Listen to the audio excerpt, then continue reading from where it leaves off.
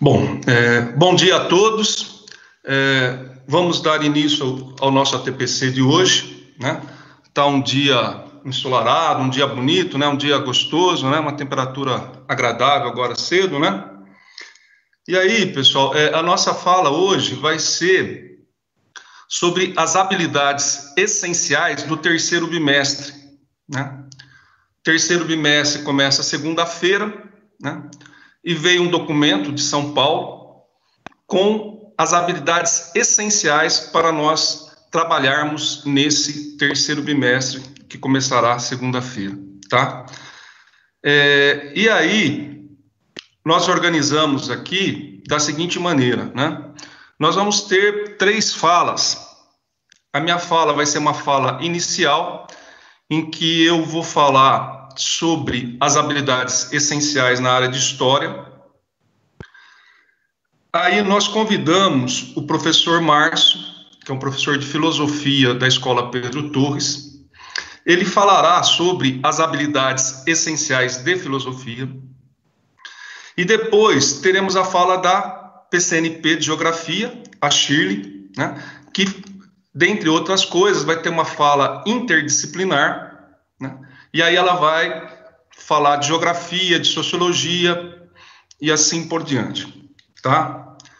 É, a minha fala, pessoal, vai ser da seguinte maneira: eu vou focar, começar com o ensino fundamental, é, e durante essa fala minha do ensino fundamental, que será maior, eu, eu, falar, eu falarei sobre questões de metodologia de história, que, portanto, valem também para o ensino médio. Tá? É, então, é isso que, que, que, vai ser a minha fala. Tá? É, eu vou já apresentar e já agradecer antecipadamente né, o professor Márcio por ter aceito o convite, né? E aí eu vou fa fazer um mini currículo, uma, uma, biografia dele aqui da trajetória da carreira dele, tá? Então, o nome completo, Márcio Lotufo Brant de Carvalho. Ele possui graduação em filosofia pela Universidade Estadual Paulista Júlio de Mesquita. Ele se formou em 2001 e ele tem mestrado em ciências da computação pelo Centro Universitário Eurípides de Marília em 2005. Ele é professor efetivo do governo do estado de São Paulo desde 2003, com experiência em instituições particulares do ensino médio e superior. Né?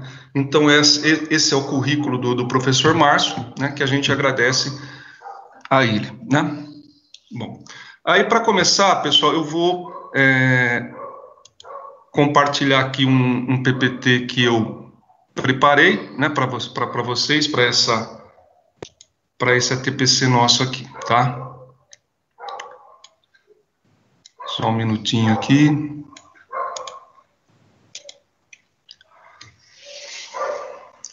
Tá, bom. Enquanto enquanto tá, tá, tá entrando aí,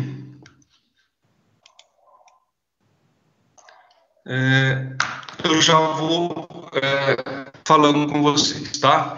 Então, é, uma metodologia que eu utilizei porque eu fiquei pensando, né? Eu tenho um tempo X para falar aqui, né? Então não dá para mim abordar tudo, né? É, então tive que selecionar, tá? E aí qual critério que eu fiz para selecionar? Eu peguei a primeira habilidade dos, dos vários anos e das, das várias séries.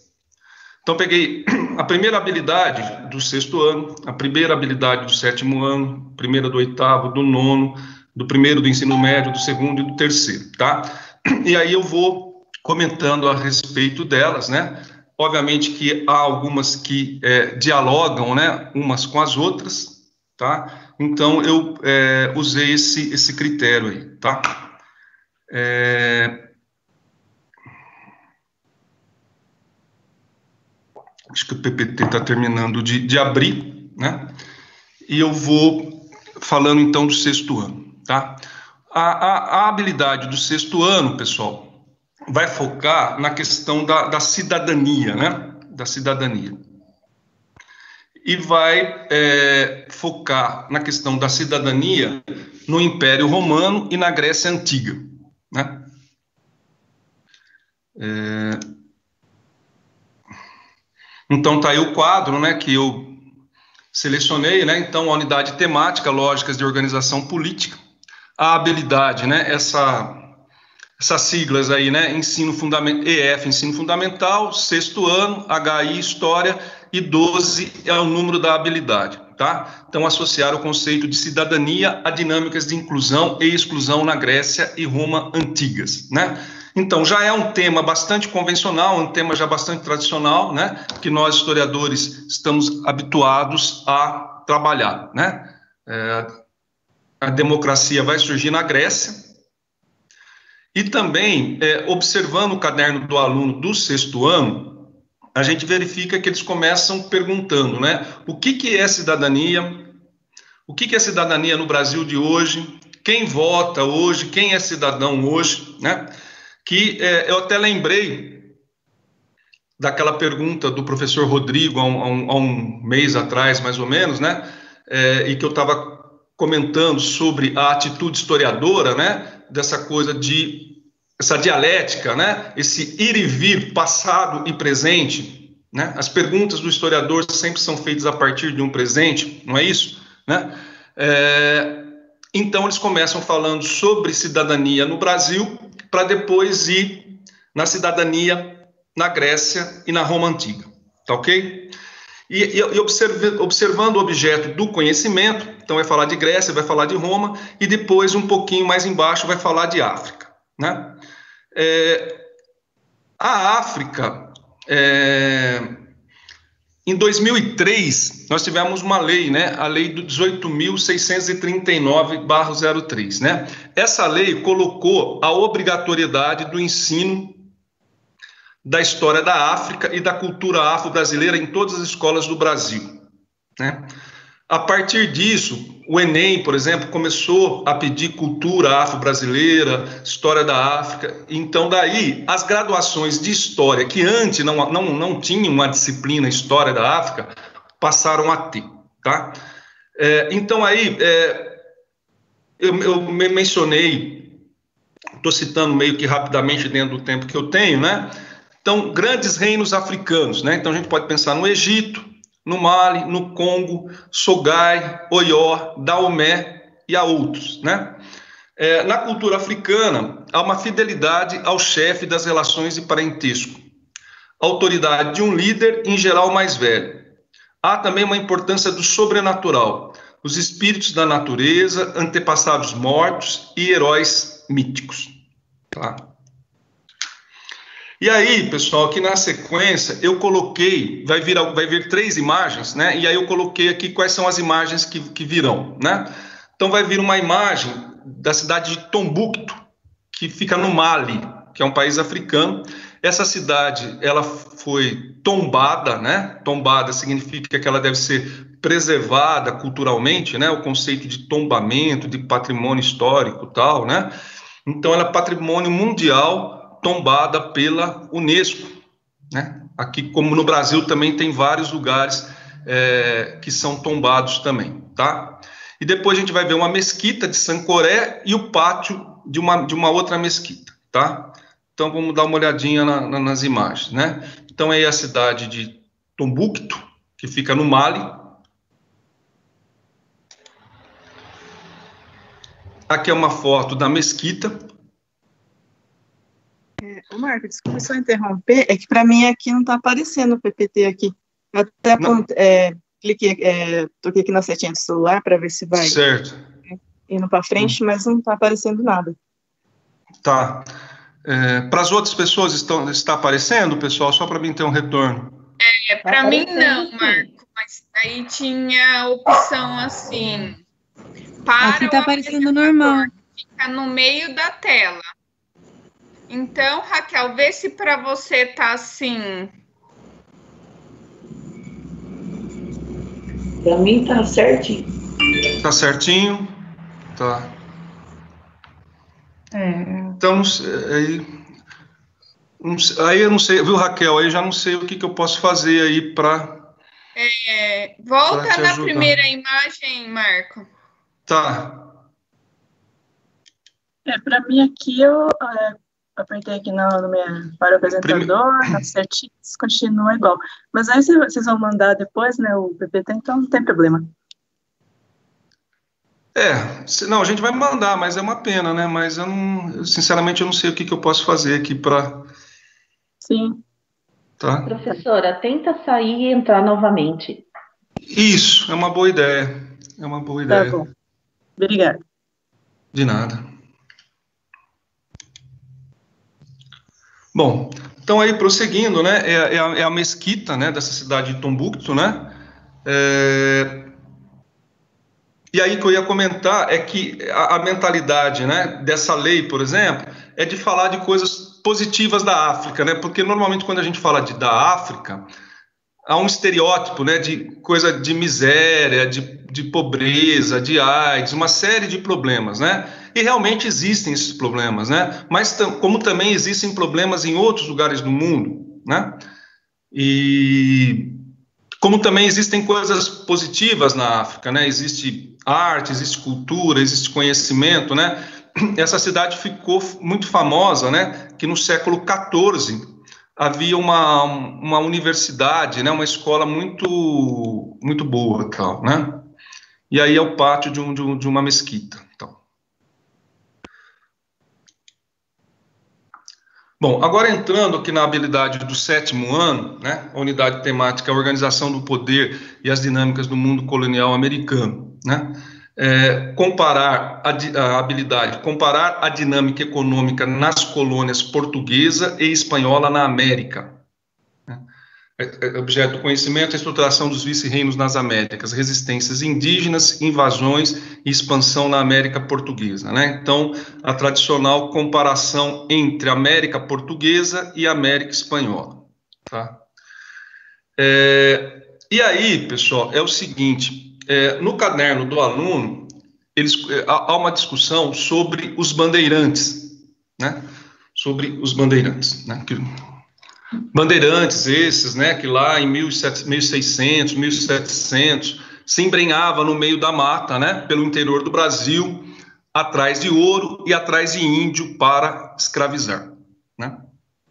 E aí, é, fazendo um, gancho com a atualidade,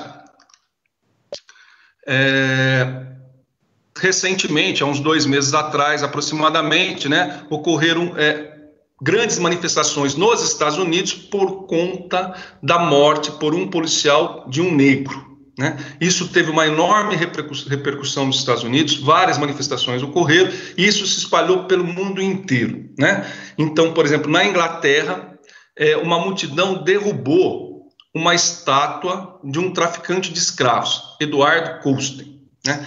Então, nos Estados Unidos e na Europa, manifestantes quebrando estátuas de escravocratas, né?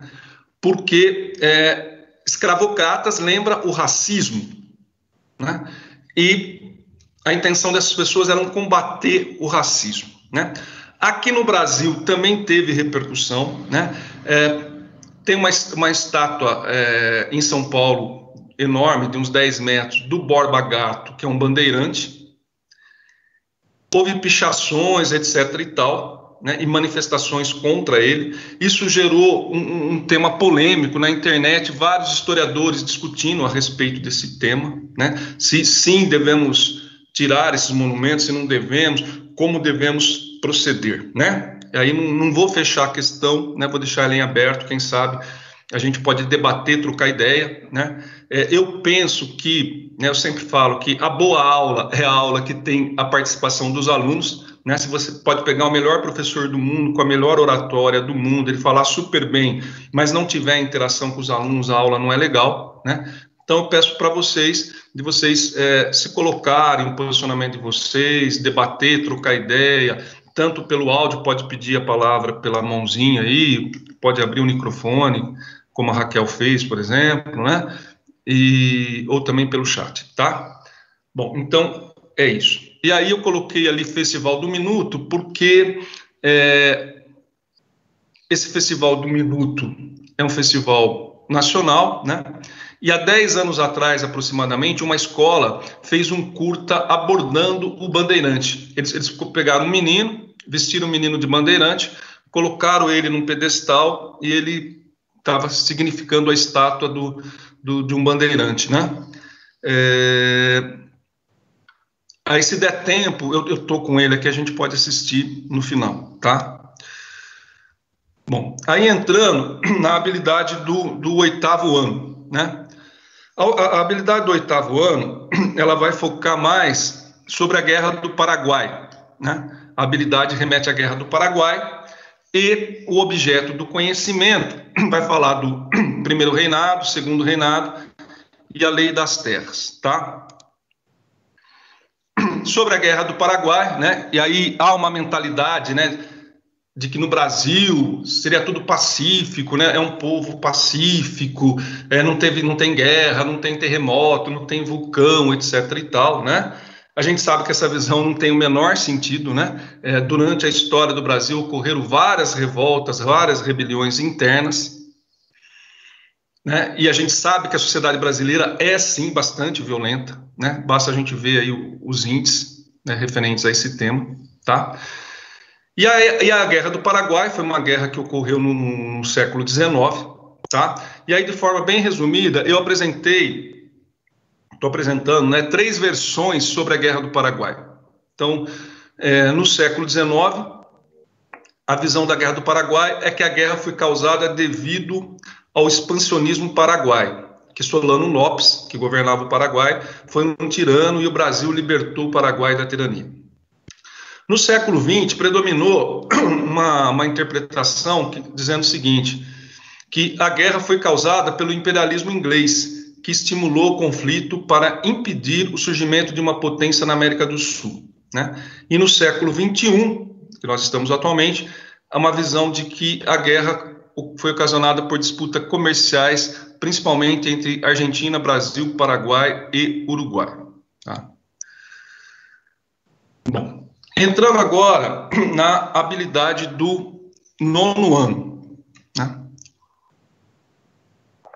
Aí a gente tem é, unidade temática, modernização, ditadura civil-militar e redemocratização, o Brasil pós-46. Habilidade, identificar e relacionar as demandas indígenas e quilombolas como forma de contestação ao modelo desenvolvimentista da ditadura. Né? E objeto do conhecimento, os anos 1960, Revolução Cultural, a ditadura civil-militar e os processos de resistência, as, as questões indígenas e negra e a ditadura. Tá? Então, esse que, que é a habilidade aí do nono ano, primeira habilidade que eu selecionei, né? E aí, eu vou tocar no seguinte assunto, né?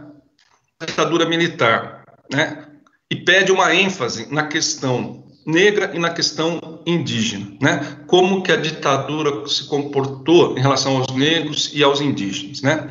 E aí eu vou falar de um assunto que ele é relativamente conhecido, né? Não sei se todos já ouviram falar, né? Eu acho que também aqui a TPC tem também a função de, né, da gente ampliar o horizonte para nós aprendermos todo mundo junto aqui, né? Estamos aqui para isso, acredito, né? É, então, daí é sobre o relatório Figueiredo. Né? O que, que, se trata, o que, que é isso? Né? Então, é o seguinte: em 1967, um procurador da República chamado Jader Figueiredo Correia, ele é, começa a investigar sobre maus tratos em relação aos índios no Brasil na época, tá? E ele vai escrever um relatório imenso muito bem documentado, né? É, apontando é, corrupção dentro do, do SPI, Serviço de Proteção ao Índio, que é o órgão anterior à FUNAI, que é o órgão atual que cuida da questão indígena, é, escravização dos índios, prostituição de índios, de índias, assassinatos de índios, proliferação de doenças com varíola, distribuição do açúcar com quinina, dentre outros. Né? É, esse relatório, entre aspas, né, na, lá em 68 aproximadamente, ele sumiu, e ele foi é, descoberto recente, recentemente, recentemente que eu falo, em 2013. Em 2013, esse relatório foi encontrado, tá?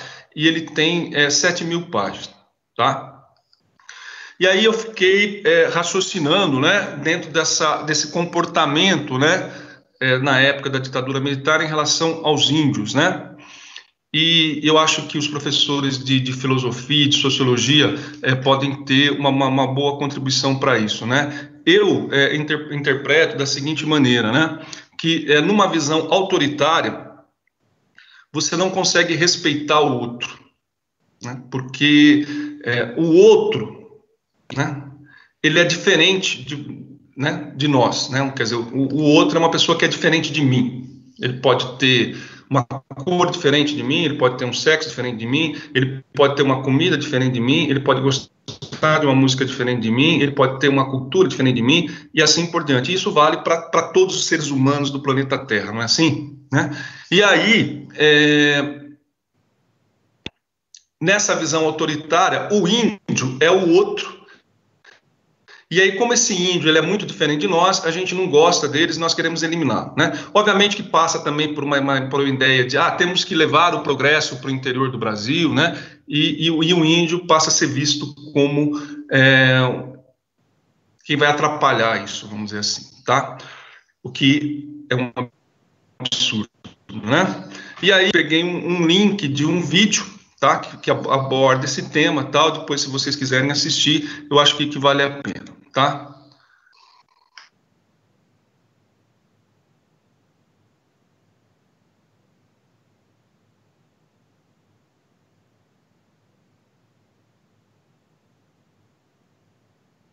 Tá bom, tá bom, Marco.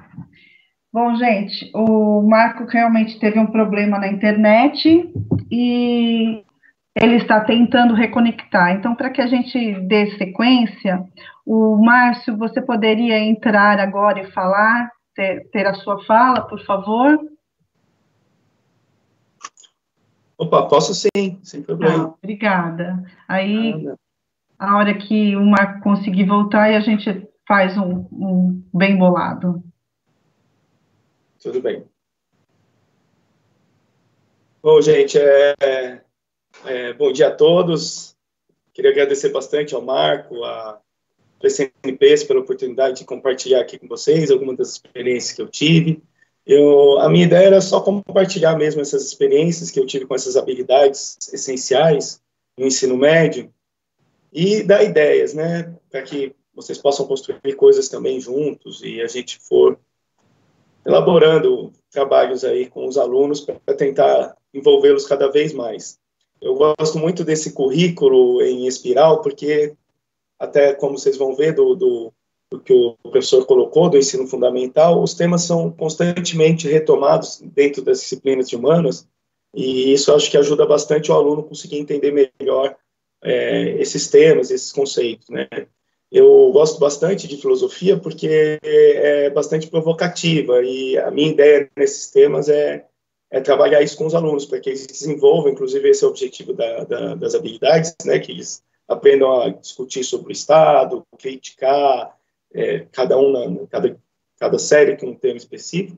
É, inclusive, isso que o professor colocou, eu gosto bastante também com os alunos dessa participação e dessa troca. Costumo colocar várias questões e também gostaria que vocês também abrissem o áudio e comentassem alguma coisa que vocês achem interessante, ou criticar, ou que precisarem. Eu não, não, eu preparei um PowerPoint também, mas eu é bastante simples. Eu acho que não há nem necessidade de eu compartilhar. Eu também não, tô, acho que como eu tô como participante, então não tenho essa habilidade. Eu queria sugerir alguns filmes que eu uso para sensibilizar os alunos com os temas, mas é, eu acho que isso depois quem quiser se interessar por esses pode dar uma olhada e a gente pode é, depois conversar. Eu posso compartilhar também o, esse PPT que eu fiz, mas é bem simples, só para para servir como guia. Eu tenho gostado da ideia do Google Classroom. Opa, pode falar. É a Cassiane, tudo bem? Você quer compartilhar? Eu já te promovo agora, apresentador.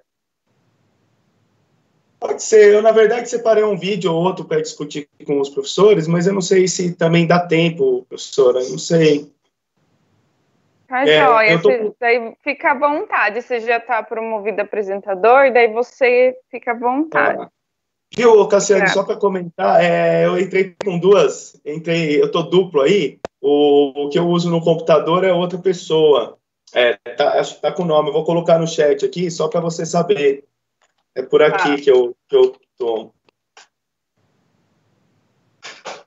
Porque no, no, eu ainda não tenho webcam decente ainda, preciso me fazer um upgrade aqui. É, Estamos bom, todos no mesmo barco, viu, professor? É, isso aí. Ai, que show. Mas tá, tá indo. Eu tenho, tenho visto algumas vantagens dessa, desse modelo, né? Porque essa parte de vídeo mesmo, eu tenho usado no Google Classroom, apesar que poucos alunos estão usando, ainda a gente está tendo muitas dificuldades, né? Mas ali você já adiciona vídeos do YouTube e outras coisas assim. Então, acho que isso facilitou. Opa, professora, apareceu aqui. Tá bom. Será que foi? Tá indo. Abriu. Ah, Abriu. Bom, gente, é, para começar, eu separei aqui do ensino médio, do primeiro ano, é, alguns temas que a gente tem, é, essas habilidades essenciais, como o professor Marco falou, não dá para discutir tudo, eu separei duas que em sala de aula eu gostei de trabalhar. Aí vai também do professor, separar especificamente, e o objetivo é atingir a habilidade, então o conteúdo pode ser muitas vezes diferente, né? É, os temas que trabalham ali, como as teorias do Estado, né? Eu foquei principalmente no liberalismo e no anarquismo. É, liberalismo eu acho interessante porque tem um momento muito bonito dele e acho que dá para discutir muita coisa em sociologia também se discute bastante o currículo dá essa volta. É, hoje tem bastante crítica na, na, política neoliberal mas ali no nascimento do liberalismo tem um, uma questão filosófica de direitos de liberdade igualdade até fraternidade com a Revolução Francesa também que eu acho muito legal trabalhar e o anarquismo, eu acho, também puxa muita discussão com os alunos para eles refletirem, criticarem, que também é uma das habilidades que, que eles colocam com a, essa capacidade de identificar e discutir os problemas do Estado. Eu, eu costumo colocar para eles algumas, algumas, alguns vídeos, ou às vezes quando eu não tenho a, a ferramenta em sala de aula, eu procuro é, apresentar só verbalmente para que eles possam ter uma ideia e sensibilidade do que é. É, a ideia do Estado aqui, que é uma ideia que começa no primeiro ano do ensino médio ser discutida, é, eu coloco é, a importância do Estado. Né? Depois, no anarquismo, vem a criticar esse Estado. Então, tem os chamados contratualistas, né, na ideia do contrato social. Uma das frases do Thomas Hobbes, que eu gosto de falar com, com os alunos, é a ideia do homem é o lobo do próprio homem, que sem o Estado o homem viria em guerra de todos contra todos. Eu coloquei até dois filmes, é, uma série, né, que, que retrata essa situação de uma sociedade desmembrada e sem uma, uma, figura de um governo e que acaba gerando essa, essa como que seria essa situação sem um governo. Eu citei até o The Walking Dead, eu mesmo nunca assisti, mas os alunos trazem muito essa, essa série, porque ela também coloca essa, essa ideia de, um, de uma situação sem Estado, sem governo, e aí como que as pessoas podem, muitas vezes, provocar guerra de todos contra todos, é, estupro, roubo, e essa situação toda. E daí a, a ideia da importância desse contrato social e de um governo. Aqui eu, eu, eu antes de colocar esse videozinho que eu, eu separei, não sei se dá tempo, eu separei uma frase do Rousseau, que eu também gosto muito de trabalhar com os alunos, nessa questão da liberdade, e como são várias discussões que vêm do direito civil, né, do, dos direitos civis, com o liberalismo, eu acho ela bastante provocadora que é todo homem. O Rousseau é muito interessante, o texto tem no caderno do aluno, mais completo, ele vai trabalhar o argumento da ideia da igualdade. Então, ele vai remontar lá nos filósofos antigos, Aristóteles, a, a visão que eles tinham, até os dias de hoje, até os dias dele, né, para desconstruir os argumentos que são a favor da escravidão. Então, ele vai pegar um argumento que diz que o homem, alguns nascem para escravos e outros para serem senhores. E vai falar que isso até é certo. Os escravos tudo perdem seus grilhões. Eu acho essa figura muito, muito interessante. Porque, na verdade, o escravo não nasceu escravo, é que ele se acostumou à escravidão e acabou perdendo a esperança. Eu uso um filme de, sobre gorilas chamado Instinto, em que o antropólogo vai num zoológico e abre a jaula de um gorila que passou a vida inteira preso. E indaga se o gorila vai tentar fugir. E, de fato, o gorila não tenta fugir. Então, o argumento que o Rousseau vai dizer é, é justamente esse, que, na verdade, foi tirada a esperança. E aí ele coloca aqui no final dessa frase que a força constituiu os primeiros escravos, a covardia os perpetuou. E aí um, um dos filmes que eu gosto muito de trabalhar com os alunos inteiro é muito difícil, nas aulas de filosofia às vezes são pequenos, pouco tempo, então eu, eu procuro separar trechos. A vantagem do, do Classroom eu acho essa, dá para anexar vídeos do, do YouTube, e aí eu procuro as cenas específicas do, do conceito que eu estou trabalhando. Ixi, eu acho que não vai sair o áudio, gente, então me desculpem. É. Ô, Márcio, pode falar. Você tá pelo Teams é, web ou você baixou ele no computador? Eu baixei ele, eu baixei ele. Na hora que você, se você quiser descompartilhar a tela, e a hora que você clica em compartilhar a tela, logo abaixo aparece uma mensagem assim, incluir áudio do sistema. Aí você ah, seleciona essa caixa de seleção. Ah, que show, Cassiane. o professor Marcos já tinha até passado essa, essa ideia e. Ah, foi, né? Foi. Bom, é, esse filme que eu costumo colocar, gente, é uma amistade. Eu vou comentar. Aí fala isso que o, o Russo comentou. A liberdade não é dada ao nascimento, né? Ela é um direito ao nascimento. Essa liberdade.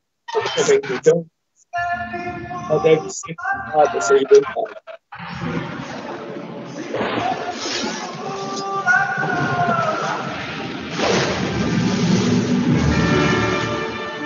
Were first detained by officers of the survey brig off the coast of Long Island. Can only assume that the charge is murder. Eu, eu, é um trailer do filme.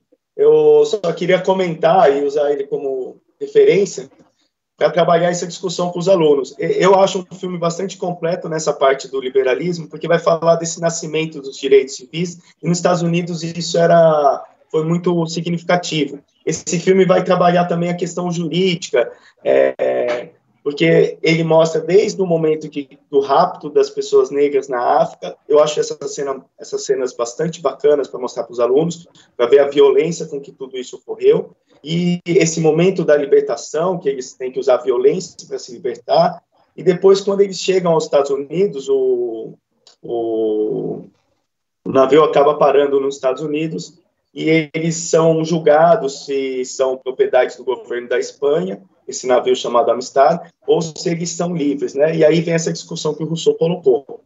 Eu acho um filme interessante para trabalhar com os alunos, ou até algumas cenas, por conta dessa toda essa temática que ele traz. Eu vou passar um pouco para frente, eu tenho medo de me alongar, e aí depois a gente pode discutir, alguém pode compartilhar outros filmes que trazem esse tema também. É, e aí, para contrapor um pouco do liberalismo, tem o anarquismo na, na, no caderno, eu acho bem legal também a forma como ele coloca. Ele usa um autor chamado Bakunin e um texto do Bakunin que eu acho maravilhoso. Eu, eu, eu dei uma enxugada nele aqui, também não pretendo ler inteiro, mas ele é bastante provocativo, esse texto. Ele é ele começa... Opa! Ele começa a, a desconstruir uma ideia muito corrente do, do anarquismo, de que anarquia é bagunça, que a anarquia não respeita a autoridade. Então ele já coloca aí, decorre daí que eu rejeito toda a autoridade? Longe de mim esse pensamento. Vou ler esse pedaço. Quando se trata de botas, apelo para a autoridade dos sapateiros. Se se trata de uma casa, de um canal, de uma ferrovia, consulto a do arquiteto ou a do engenheiro. Mas não deixo que me imponham nem o sapateiro, nem o arquiteto, nem o cientista.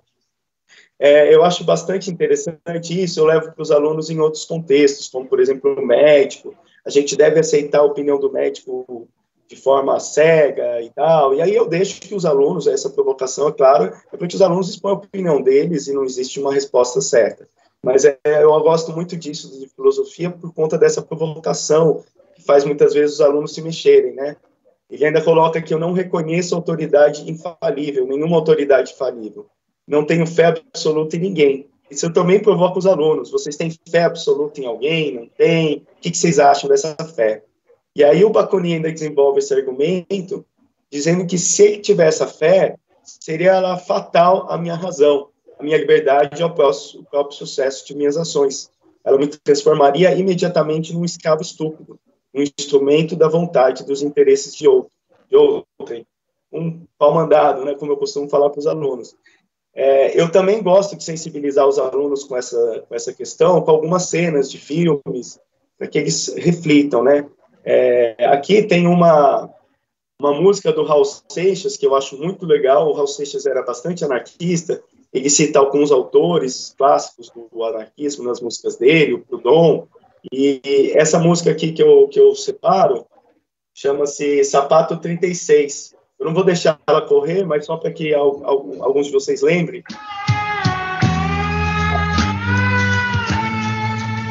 Por aí, sapato, sapato 35, sapato 37. É, e aí essa questão que o Bakunin coloca, o direito incontestável de controle que deve partir de nós. Eu respeito a autoridade, somos nós que devemos escolher o caminho de tomar. E aí ele vai desenvolver. É, ele faz as metáforas, mas eu acredito que tem muito a ver com o Bakunin. O Bakunin cita sapateiro, também que eu passei. Isso eu. Aí, na sala de aula, dá para escutar com calma e, e desenvolver melhor, né? E outro vídeo que eu também uso com os alunos é, é uma, uma reportagem em 2003, a merendeira Thelma Sena entrou em desespero quando soube que a casa onde morava com sete filhos, na invasão palestina, seria demolida por decisão judicial.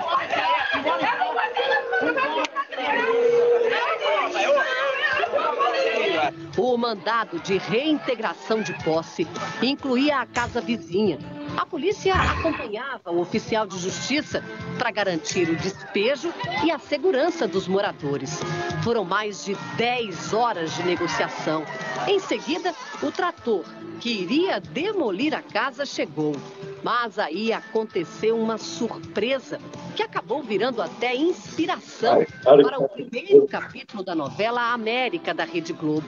O tratorista Hamilton dos Santos se emocionou com a situação das famílias despejadas, chorou e se recusou a destruir as casas. Por não cumprir a ordem judicial, Hamilton recebeu ordem de prisão, mas acabou sendo levado para um posto de saúde com crise de hipertensão. É pobre o Gualabi, é pobre o Gualabi. O senhor sabe, eu não tinha condições de fazer aquele serviço. Com gesto de comoção. É, eu, desculpa, gente, eu interromper para não ficar muito longo. É, eu gosto muito dessa, dessa reportagem para trabalhar com os alunos a questão da autoridade, né? Em que momento que a gente deve pensar por nós mesmos e não obedecer cegamente um, um governo ou uma, uma comanda. E aqui, no caso, ele, mesmo tendo a ordem judicial, tendo a polícia ali para que ele é, fizesse o serviço, ele, por si próprio, pensou, refletiu e sentiu que aquilo não era correto, demolir a casa da pessoa. Provavelmente ele teve uma coisa de empatia, né, uma coisa muito bonita, inclusive.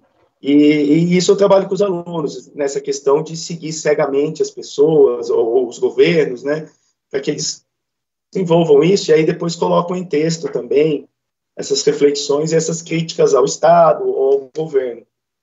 Eu acho esse tema da anarquia bastante interessante com eles desenvolver.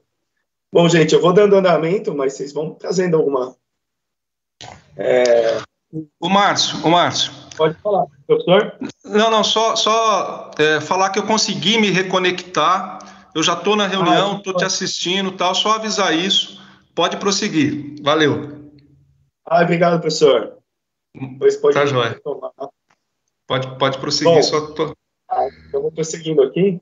É, no segundo ano do ensino médio, é, eu acho os temas que começam a entrar agora no terceiro bimestre e as habilidades, eu acho muito bacanas, muito bacanas mesmo. Também gosto de usar vídeos eu nem vou comentar, é, vou colocar nada, mas eu acho temas que dão bastante é, provocativos para que os alunos se coloquem. E como eu falei, né, que eu acho muito legal do currículo sem espiral, o professor Marco colocou várias questões que já desde o ensino fundamental são trabalhados com os alunos e aí eles vão conseguindo construir isso cada vez de forma mais, mais elaborada, melhor, melhor é, construída, né? Aqui no segundo ano, ele traz muito a questão da humilhação, do racismo e dessas segregações sociais, que, como a gente já viu, a questão do índio, elas são frequentes, e no terceiro ano também isso retoma. É, alguns temas eu vou só comentar, tem a questão da velhice e do racismo e a questão da, do gênero. Filosofia e educação eu não vou comentar, mas é bem legal porque ele já entra em Auschwitz, e eu acho que o, o texto que ele usa no caderno do aluno sobre o do Foucault sobre o racismo já fala uma questão de biopoder, eu vou comentar isso, que na filosofia da educação com a questão do, de Auschwitz é preciso é, é possível retomar. Isso também aparece nos americanos na mesma época e que usavam o biopoder como forma de segregação, né? Vou comentar melhor.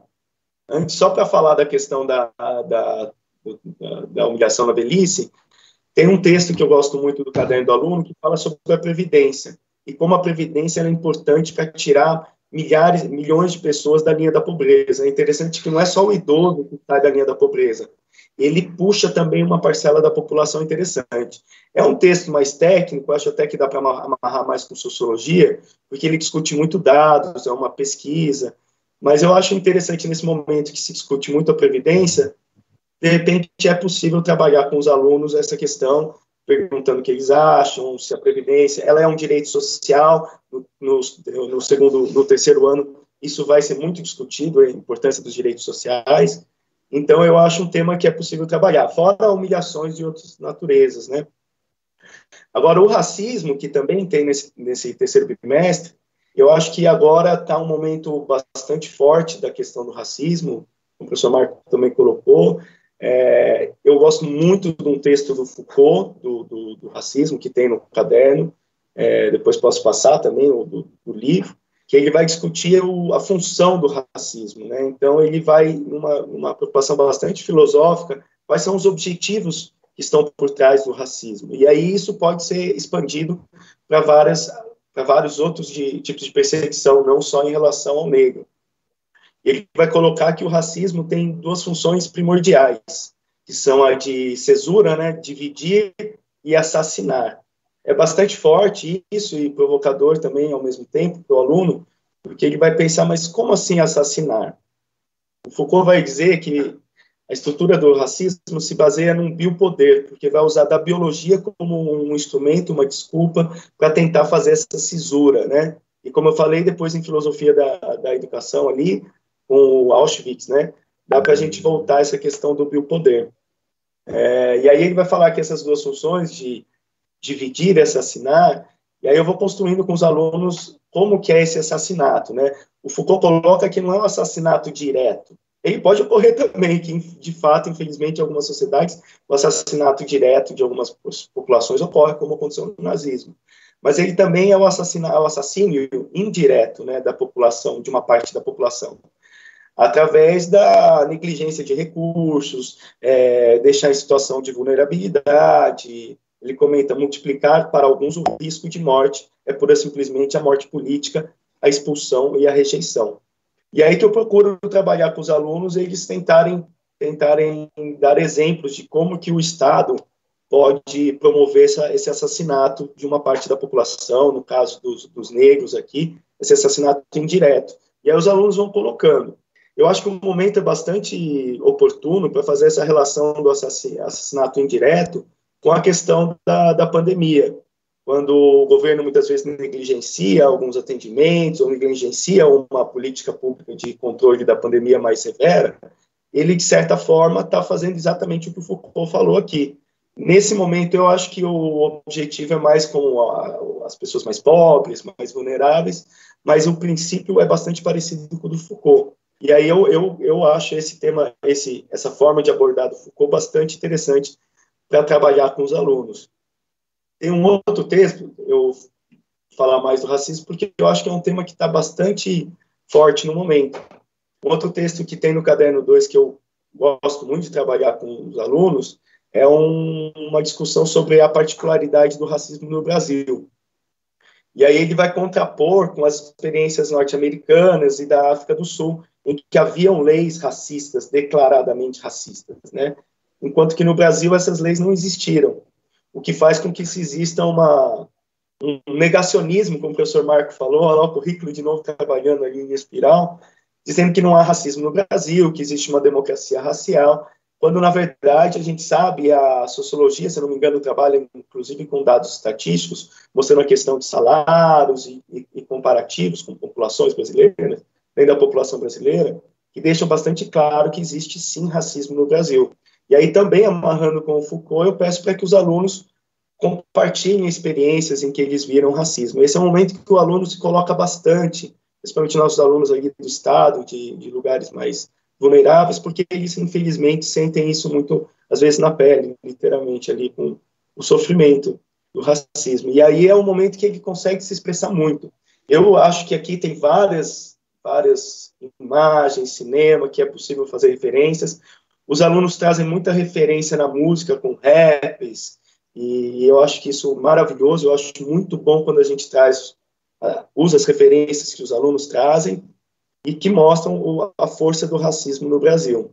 Aqui também eu acho interessante amarrar com a biologia também o conceito de raça. Eu acho que não é nesse, nesse segundo ano que se discute isso, eu acho que ainda é, no, em sociologia, eu acho que se discute, mas é, é desconstruir a ideia de raça, que só existe uma raça de seres humanos, e que a própria ideia de raças diferentes tem esse objetivo do Foucault, do biopoder, de dividir. Então, na verdade, só existe uma raça que ser humano eu achei esse assunto bastante uhum. proveitoso, ser trabalhado com os alunos, né? Estimular os alunos. Ô, Márcio, Márcio, é, se você puder, fazendo um favor, é, vai meio tentando concluir a sua fala, que o tempo já está meio se esgotando. Tenta falar agora a parte que você considerar mais importante aí e tal, fazendo um favor. É. É, eu vou só citar, então, no, no, décimo, no terceiro ano, que os temas que eu costumo trabalhar com eles é a ideia de liberdade, determinismo. E aí também na, na, no caderno do aluno ele traz textos interessantes, alguns um pouco longos, e aí é possível a gente faz uma leitura mais dinâmica com os alunos, né, para resgatar. Um é o ato institucional 5, né, o AI-5, que vem discutir cerceamento dessa liberdade. Ele vem com um argumento de liberdade, mas na verdade a gente sabe que o objetivo principal era cercear a liberdade. Então, acho que dá para construir com o aluno é, essa questão também, desenvolver. E aí eu amarro esse AI5, essa questão de apresentar uma ideia de liberdade, quando na verdade não é.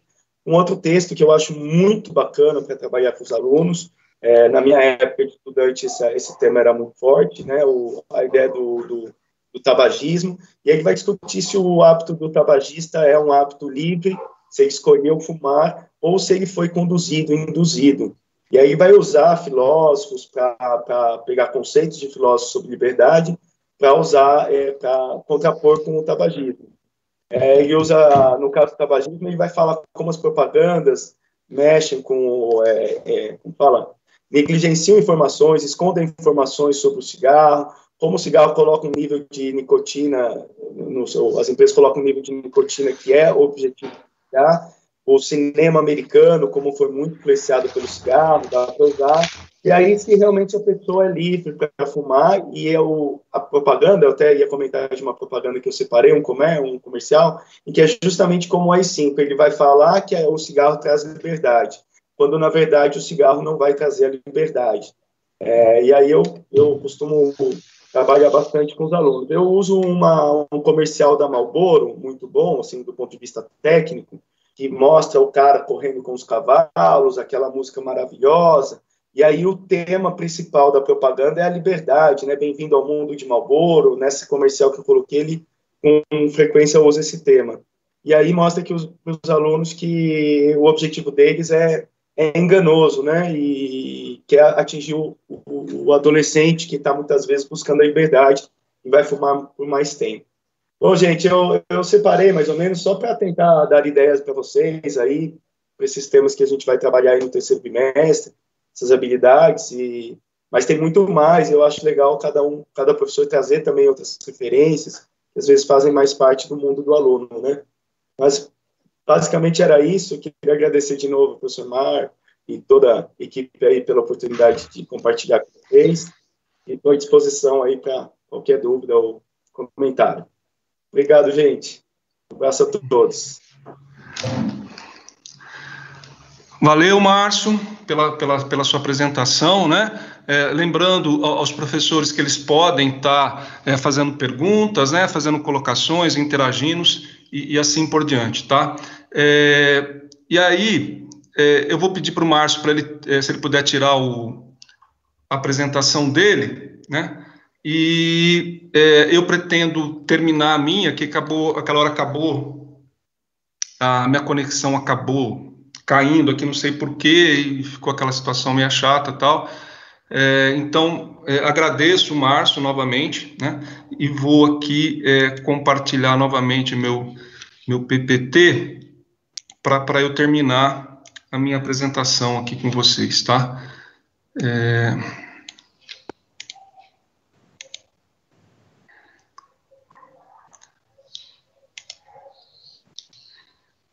Bom, é, então, é, enquanto está carregando aqui o PPT, né, só retomando o que eu, que eu estava falando quando a conexão caiu, que foi a questão do negacionismo histórico, né, e, e também da questão da revisão histórica, né. Então, retomando essa questão, a revisão histórica é algo natural e normal, né, ou seja, é, a história nunca é algo pronto e acabado. Né? Escrevemos toda a história, já sabemos tudo. Não, isso não existe. Né? E também é, novas interpretações surgem e novos documentos também surgem. Né? Então, é, para dar, um, dar um exemplo, né? É, não sei se eu, se eu tinha falado, né? o professor Davidson, por exemplo, ele me mandou uma mensagem é, uma reportagem falando de uma descoberta arqueológica no México, né? E que essa descoberta arqueológica fala da presença humana no México há 30 mil anos atrás, né?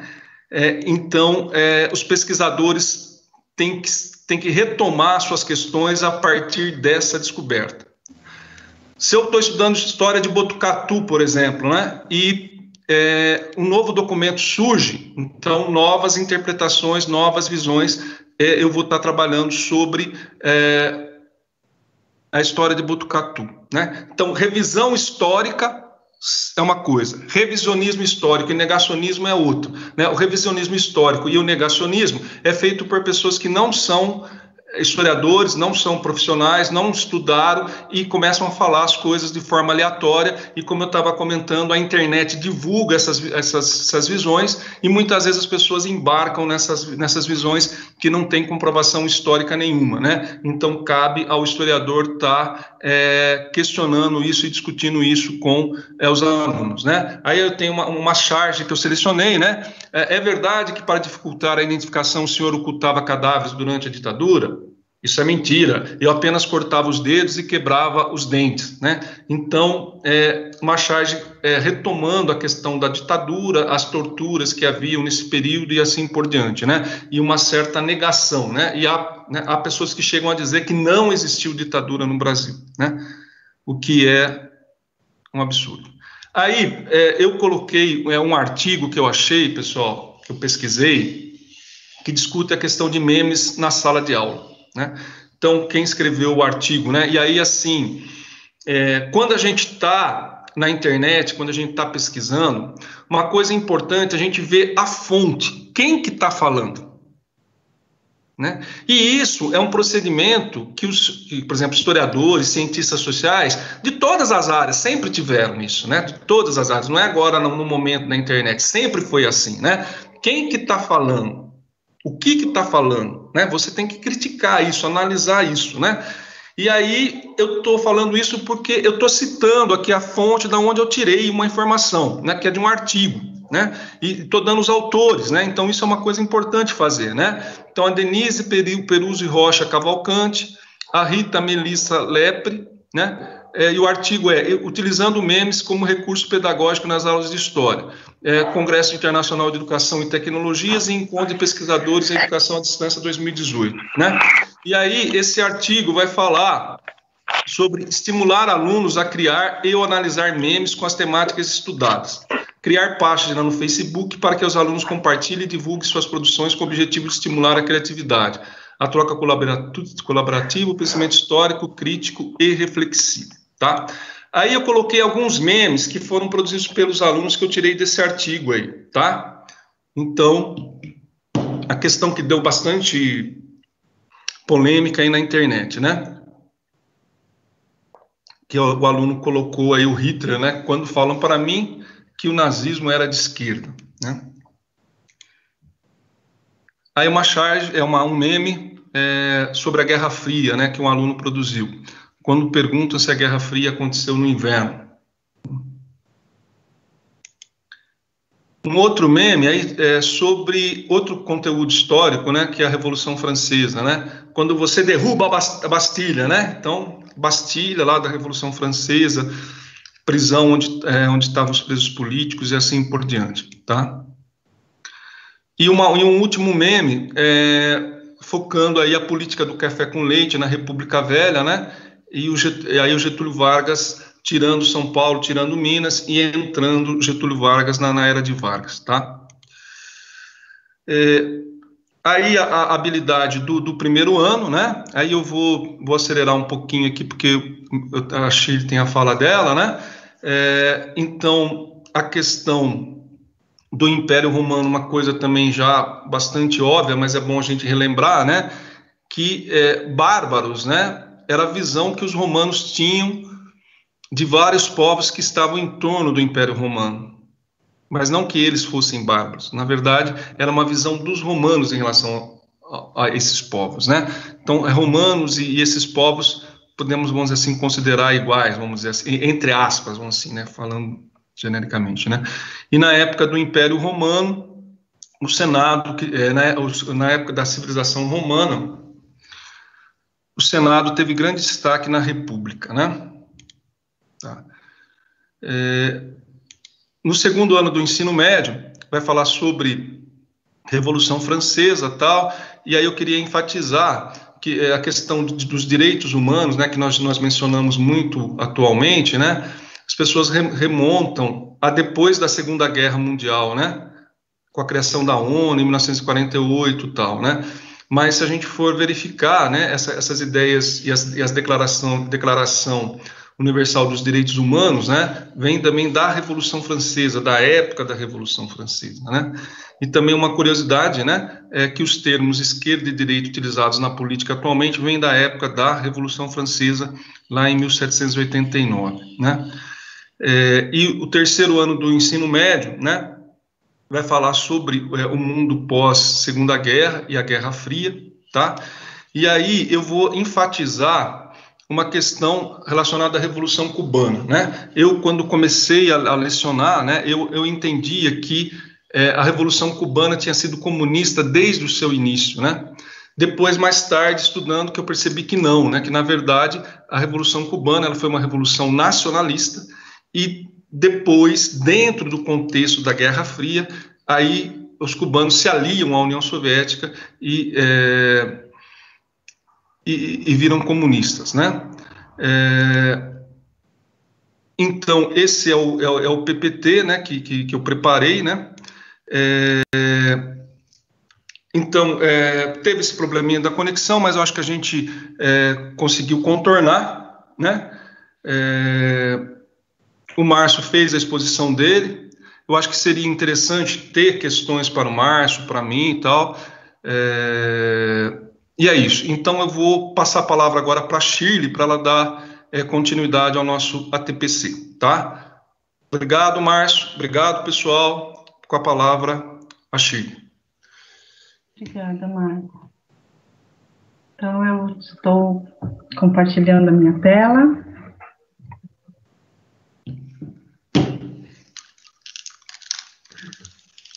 Vocês conseguem ver minha tela?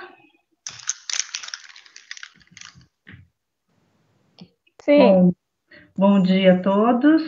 Sim. Já está tá conseguindo ver meu PPT? Já. Se quiser tá expandir ele já. Eu que não estou vendo ele. Espera aí, vou voltar. Ah. Vamos lá, de novo.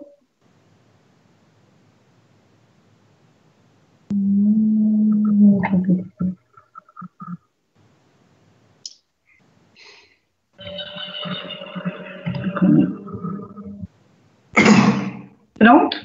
Vocês estão vendo? Certinho. Tá bom. Então, gente, bom dia. É, eu vou dar continuidade aos a, aos desenvolvimentos das habilidades e hoje, nossa, travou. Tá mudando? Sim. Mudou, tá nas habilidades essenciais para o terceiro.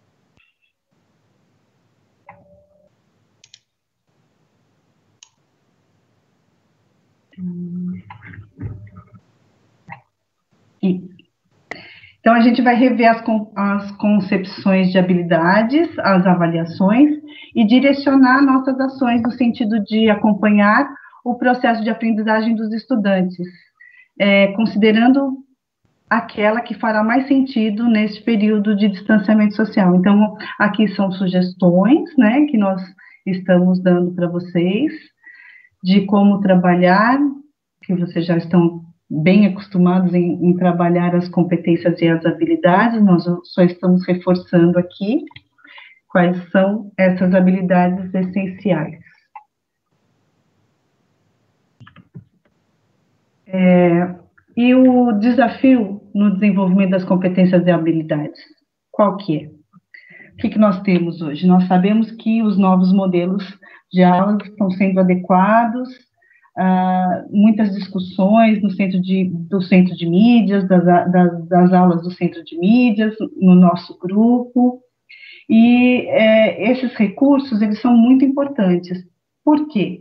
Porque a gente precisa desses é, desafios e, com as competências. E o que, que é ensinar a competência? A competência é, não se alcança, ela se desenvolve.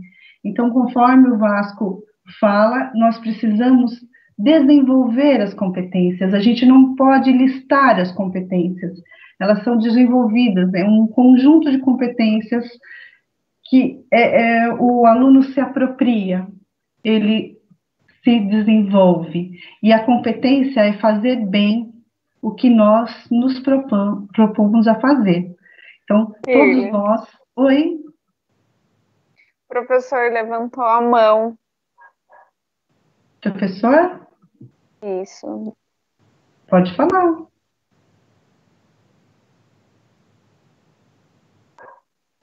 Eu acho que é o, a tela. Você mudou de slide? Eu Qual estou nas competências. De, desenvolvimentos das competências e habilidades. Isso. O meu não mudou, mas pode ser que seja a minha conexão ou as, entendeu? A minha do professor. Sim. Então, tá mas eu acho que é isso que ele quis dizer, mas tudo bem, tá? É só a minha, talvez. Já, eu, eu tô mexendo. Vocês estão vendo ou não? Estamos tá vendo sim. Tá. Uhum. Então tá. Então, a então ó, para o meu não tá, então pode ser que para alguns professores não mude, é a conexão, tá, pessoal? Pode migrar lá para o YouTube daí, quem tiver ruim a conexão aqui, tá? Certo. Então, continuando, as competências, elas não podem ser listadas, como eu já disse, e a gente tem várias situações problemas para serem resolvidas. Então, a gente trabalha sempre com as situações problemas. E e a gente tem cinco recursos para desenvolver essas competências. E quais são esses recursos que a gente precisa se apropriar e ter em mãos? Os conteúdos conceituais. É preciso ter o conhecimento específico relativo às suas abordagens. O que se busca é que esses conteúdos sejam relevantes, isto é, que tenham sentido para o estudante e que esteja dentro do seu contexto. Então, a gente, quando trabalha competência, a gente não está falando de não trabalhar os conteúdos, mas sim como trabalhar, né? Porque a escola tradicional ela trabalha o primeiro conceito para depois trazer um contexto. E a competência, ela trabalha os conteúdos através de contextos do estudante. Temos o domínio da linguagem. Cada área, como o professor Mário falou, o professor é, Marco falou, cada área ela tem um conhecimento e uma linguagem própria. E ela se manifesta de diversas formas, né? A geografia, ela vai estar trabalhando com a cartografia, que é a linguagem própria dela, né? Nós temos as habilidades, que de modo geral é o saber fazer, é um, algo específico, e isso significa que as habilidades estão associadas às ações. Então, toda habilidade, como a gente trabalha, ela tem um verbo, né? E esse verbo, ele já está indicando uma ação. Os valores culturais. Esses valores culturais, eles são específicos a diferentes contextos e precisam ser mobilizados na abordagem de uma situação complexa. É, esses valores culturais, eles interrompem o processo de aprendizagem, eles são como barreiras, por quê? O aluno, ele sente a dificuldade e aí instala-se a cultura da cola, né? O aluno, ele não vai se apropriar do, do conhecimento, e sim ele vai colar, ele não vai estar, tá, não, não vai exercer nenhuma empatia com a nossa disciplina. E o quinto recurso é a administração das emoções. E na administração das emoções é interessante que o Moreto ele comenta que essas emoções elas acabam interferindo diretamente no desempenho do aluno. E muitas vezes a gente confunde desempenho com o indicador da, da competência. Muitas vezes, e ele cita, é, muito interessante, um tenista do, ranqueado nos primeiros lugares. E esse tenista, em um determinado campeonato, numa determinada é, um jogo, ele não está emocionalmente bem e ele não se desempenha da forma como ele tem a competência. Então, é muito importante a gente pensar esses cinco recursos das competências. E aí a gente vai para as habilidades que eu selecionei, acabei selecionando algumas habilidades é, específicas da área de geografia e também de sociologia. Então, eu vou começar com o ensino médio.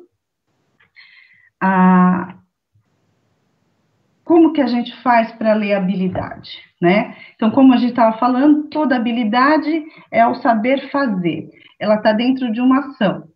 Então, eu, eu selecionei aqui a habilidade do sexto ano de geografia, a 3C, que é diferenciar tempo e clima e analisar os fenômenos atmosféricos e climáticos em diferentes lugares. Bem, o verbo. Oi? Não está bem? No YouTube também o, o Gustavo falou que não está não tá chegando. Se você puder descompartilhar e compartilhar a tela de novo, é, hum. Eu estava achando que era conexão, mas a conexão do Gustavo lá é bem melhor e também para a transmissão no YouTube não estava mudando. Tá. Vamos lá. Foi? Foi. Foi. Tem um delay lá, Foi. mas eu vou. Foi agora? Tá, obrigada, Gustavo. Então, o, a habilidade selecionada aqui é diferenciar tempo e clima e analisar os fenômenos atmosféricos e climáticos em diferentes lugares.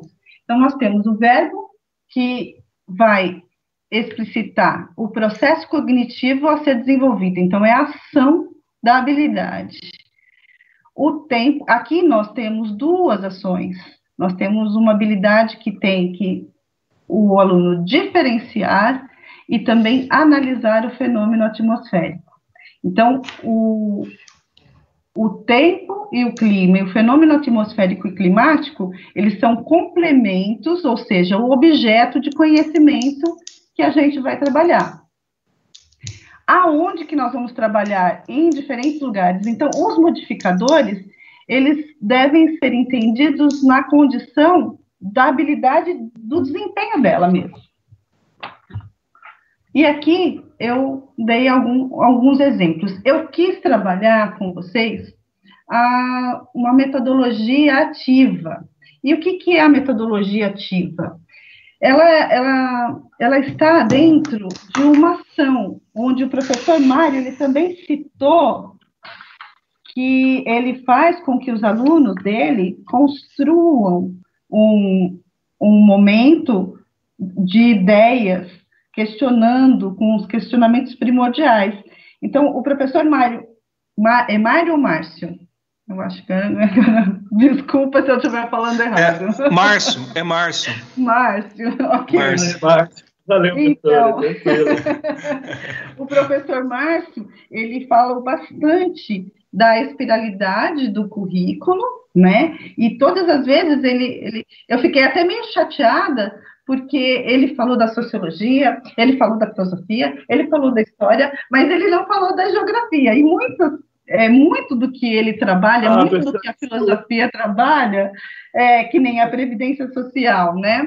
É a, é a, é, no, no currículo de geografia.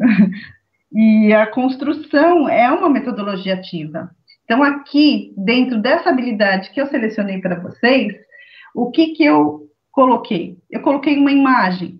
Então, como nós estamos à distância, é difícil trabalhar o aluno, então a gente vai pegar uma imagem. Esse aluno é de sexto ano, ok. Será que ele sabe o que, é humor e o que, que é personalidade? Então, eu já estou trabalhando com ele alguns conceitos. Você sabe a diferença entre humor e personalidade? Por que, que eu quero falar isso? Porque eu estou diferenciando tempo e clima. Então, ele vai, eu vou jogar uma pergunta para ele, ele vai, ele vai. Oi? Oi? Foi um ruído, Shirley, mas acho que ah, você pode tá. prosseguir. Foi um ruído. tá. E aí, uh, o que, que eu tenho? Eu tenho uma imagem e eu tenho uma pergunta onde essa imagem tem um humor que está sendo associado ao tempo e uma personalidade, algo mais, mais consistente, que está sendo associado ao clima. Então, eu, aqui eu tenho uma metodologia ativa para indagar e para trabalhar esse, essa definição de tempo e clima, essa diferenciação, porque a minha habilidade é diferenciar. Então, eu vou trabalhar a diferença de tempo e clima. Aí eu quero aprofundar, eu trabalhei com. To, eu, eu trouxe para vocês mapas temáticos. Então, eu trouxe um climograma que está dentro da parte atmosférica. E eu estou trabalhando também conceitos matemáticos com esse meu aluno do sexto ano quando ele vai aprender a ler um gráfico, né? Um climograma, tá certo, gente? Tudo bem até aí? Ainda no sexto ano, a gente, eu trouxe a parte do clima, duas imagens. Eu peguei duas imagens e trabalhei momentos diferentes na estação do ano para comparar esse meu aluno. E eu vou trazer para vocês aqui, como a gente está trabalhando com a parte climática, nós temos um app que é o Lightning Alarm. Ele mostra em tempo real o que está ocorrendo com os fenômenos atmosféricos. Essa imagem que eu peguei aqui no canto do, do mapa foi o ciclone é, subtropical que ocorreu no, no, Rio Grande do Sul, tem umas, uns 15 dias atrás. Então, dá para ver a formação em tempo real. Aí eu tirei a cópia dessa imagem, eu achei muito interessante, porque é, no caderno do aluno, ele, eles pedem para que você, para que o aluno ele faça um, um relato do tempo, né, ou seja, ele vai marcar uma tabela. E dentro disso, um ciclone é algo de risco, e nós temos, então, dentro do nosso currículo, redução de riscos de desastres. Nós temos, o, aqui eu, eu extraí do nosso material mesmo, essa, esse texto e imagem. Para quê? Para falar para vocês da campanha hashtag Aprender para Prevenir, Escola, Defesa Civil, Universidade e a Saúde da Família. E esse ano nós temos desastres, desastres e desastres, o que podemos fazer e a educação. Então, o Semadem, eles todo ano tem a campanha, e se vocês quiserem participar, é só entrar no site, trazendo para vocês, é, eles, vocês concorrem a pluviômetros, vários, vários, vários prêmios, muito bacana. Aqui nós estamos, então, na habilidade selecionada do sétimo ano, e essa habilidade tem o verbo analisar o papel das redes de transporte e comunicação e estabelecer relações com fluxos materiais, objetos, mercadorias, pessoas e materiais, dados, informações, comunicações de escala global. Eu novamente trouxe para vocês um mapa temático. Opa, eu acho que eu extraí fluxos materiais e materiais. Então, aqui é, no caderno do aluno, ele está trabalhando o comércio, o mercantilismo, e aí dentro disso vocês podem extrair várias situações para que o aluno trabalhe com esse mapa temático e até mesmo fazer com que eles pesquisem, porque dentro da, do caderno do aluno eles estão pedindo para pesquisar mercantilismo e capitalismo. Então, uma forma de que você auxilie e oriente o aluno na pesquisa é trabalhar com esses mapas. Então, estou dando essa ideia para que vocês possam estar trabalhando com eles e, e fazer com que eles possam estar fazendo um fichamento desse, olhando para esse mapa, e uma finalização criando também um mapa conceitual. Por que não? E aqui nós temos a habilidade do oitavo ano, que é identificar, comparar os padrões econômicos mundiais de produção, distribuição, intercâmbio dos produtos agrícolas e industrializados, tendo como referência os Estados Unidos da América e países do BRICS. Eu fiz a mesma coisa, eu dei o mesmo exemplo para vocês com um mapa temático que fala sobre comércio mundial. E aqui também os indicadores da China, para que o aluno possa estar tá trabalhando com os dados. É, esse material está muito similar ao que a gente já trabalhava com material com eles. No nono ano, nós vamos encontrar relacionar os processos de urbanização, as transformações da produção agropecuária, a expansão do desemprego estrutural e o papel crescente do capital financeiro em diferentes países, com destaque no Brasil. Então, nós estamos trabalhando essa habilidade que vai falar sobre capital financeiro, que vai falar sobre desemprego estrutural, que filosofia trabalha, que sociologia também trabalha. Então, a gente pode perceber que o aluno, quando ele chega no ensino médio, ele vai chegar no ensino médio com alguma informação sobre desemprego estrutural, sobre capital financeiro, sobre a produção agrícola, a extensão, os latifundiários. E aí a gente, te, eu peguei aqui o sistema fundiário, e a estrutura setorial. Então, trabalhar os setores da economia, trabalhar a população economicamente ativa.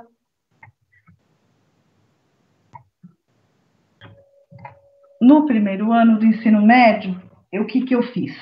Eu acabei pegando uma habilidade de sociologia para é, unir com geografia, porque não é o meu forte a sociologia, né? Eu sou formada em geografia e tenho história, mas vamos lá. O que, que eu consegui identificar aqui? Vocês podem notar que a habilidade de sociologia, ela não está como nós vimos lá no começo. Ela tem um verbo de ação e ela tem o conteúdo. Ela não tem aonde eu vou trabalhar, né? Ela não tem um modificador. Essa habilidade ela é mais simples. Já a habilidade de geografia, ela está mais complexa, mas elas conversam entre si. Por quê? Porque eu vou falar da, de associar padrões de desenvolvimentos econômicos e sociais às maneiras de realizar controle preventivo de situações de risco de, naturais. Mais uma vez, eu posso pegar essa situação de risco natural que eu trabalhei lá no sexto ano e reforçar. Então, esse meu aluno, ele viu riscos naturais no sexto ano e ele vai retomar no primeiro ano do ensino médio. Aqui tem novamente um, um mapa temático e com algumas informações mostrando a área de deslizamento. Eu acho interessante porque aqui no cantinho direito na, da nossa tela, da minha tela, tem a ocupação desordenada. Eu posso inferir cultura aqui dentro dessa ocupação desordenada? Posso. Qual é a população que habita essa área desordenada, de ocupação desordenada? Então, tem como trabalhar as habilidades de uma forma interdisciplinar. Aqui, é, para o aluno do, do ensino médio, nós temos o SEMADEM Educação. Então, a gente tem a, a competição, né, o, o projeto do SEMADEM Educação, e nós temos também a página do SEMADEM, onde nós encontramos é, já uma aula. Então, aqui eles dão todo o material para o aluno trabalhar o, uma pesquisa, um desenvolvimento, né, e de campo. É, aqui a opção é trabalhar com a vulnerabilidade da escola, mas hoje, atualmente, nós podemos trabalhar com esse aluno olhando para a vulnerabilidade do bairro onde ele está, né, independente do que for, né, a pandemia já está sendo uma ação, um, um desastre, mas a gente pode trabalhar com ele utilizando essa ferramenta do Semadem Educação, que tem descrição das atividades, tem questões, objetivos, tem exercícios e tem arquivos para eles baixarem, já tem modelos de planilhas para eles preencherem. E tem toda uma orientação, então fica fácil para o professor fazer essa proposta para o nosso aluno do ensino médio com o SEMADEM. Aí nós temos a segunda série do ensino médio. As habilidades selecionadas são analisar a situação das famílias brasileiras com relação à distribuição da renda e inserção do mercado de trabalho formal e na sociologia identificar as transformações no mundo do trabalho, as mudanças no processo e na organização dele. Então, mais uma vez, são é, conteúdos próximos, né? Nós temos o mundo do trabalho, a distribuição de extensão no mercado for, no trabalho formal, e um é analisar e o outro é identificar. Então, é, o que a sociologia só identifica, a geografia já está um passo a mais na ação dessa, dessa habilidade. E aqui, o professor falou lá do, da Previdência Social e direitos trabalhistas, e aí eu coloquei uma charge, o Marco também gosta de trabalhar bastante charge, e eu também gosto, e essa charge vem é, bem atual, né? Quem quiser uma vaga tem que sair daí, né? A gente está, né, nós notamos agora o que, aconteceu, a terceirização dos, dos trabalhos, né? Então, a gente traz essa, esse questionamento que o professor de filosofia também falou sobre. E a, o terceiro ano do ensino médio, nós temos a extrair informações de textos e imagens sobre a distribuição espacial dos países africanos. E a sociologia, compreender o conceito geral de Estado e suas formas. Bom, a sociologia trabalha no terceiro ano do ensino médio o que a filosofia trabalha no primeiro ano do ensino médio. Então, mais uma vez, como o professor Márcio falou, nós estamos trabalhando em, na aspiralidade. E a, aqui eu gosto muito de África, e eu coloquei a professora Natália, do, lá de Areópolis, ela me passou a dica agora, e eu acabei colocando a live da professora Natália Dorini, que ela aborda o ensino da, da história da África, das Áfricas. E as imagens que eu coloquei aqui são exatamente, né, essa imagem é para a desconstrução dessa África, né, essa África que não é a África, são Áfricas, né, as fronteiras étnicas e políticas na África.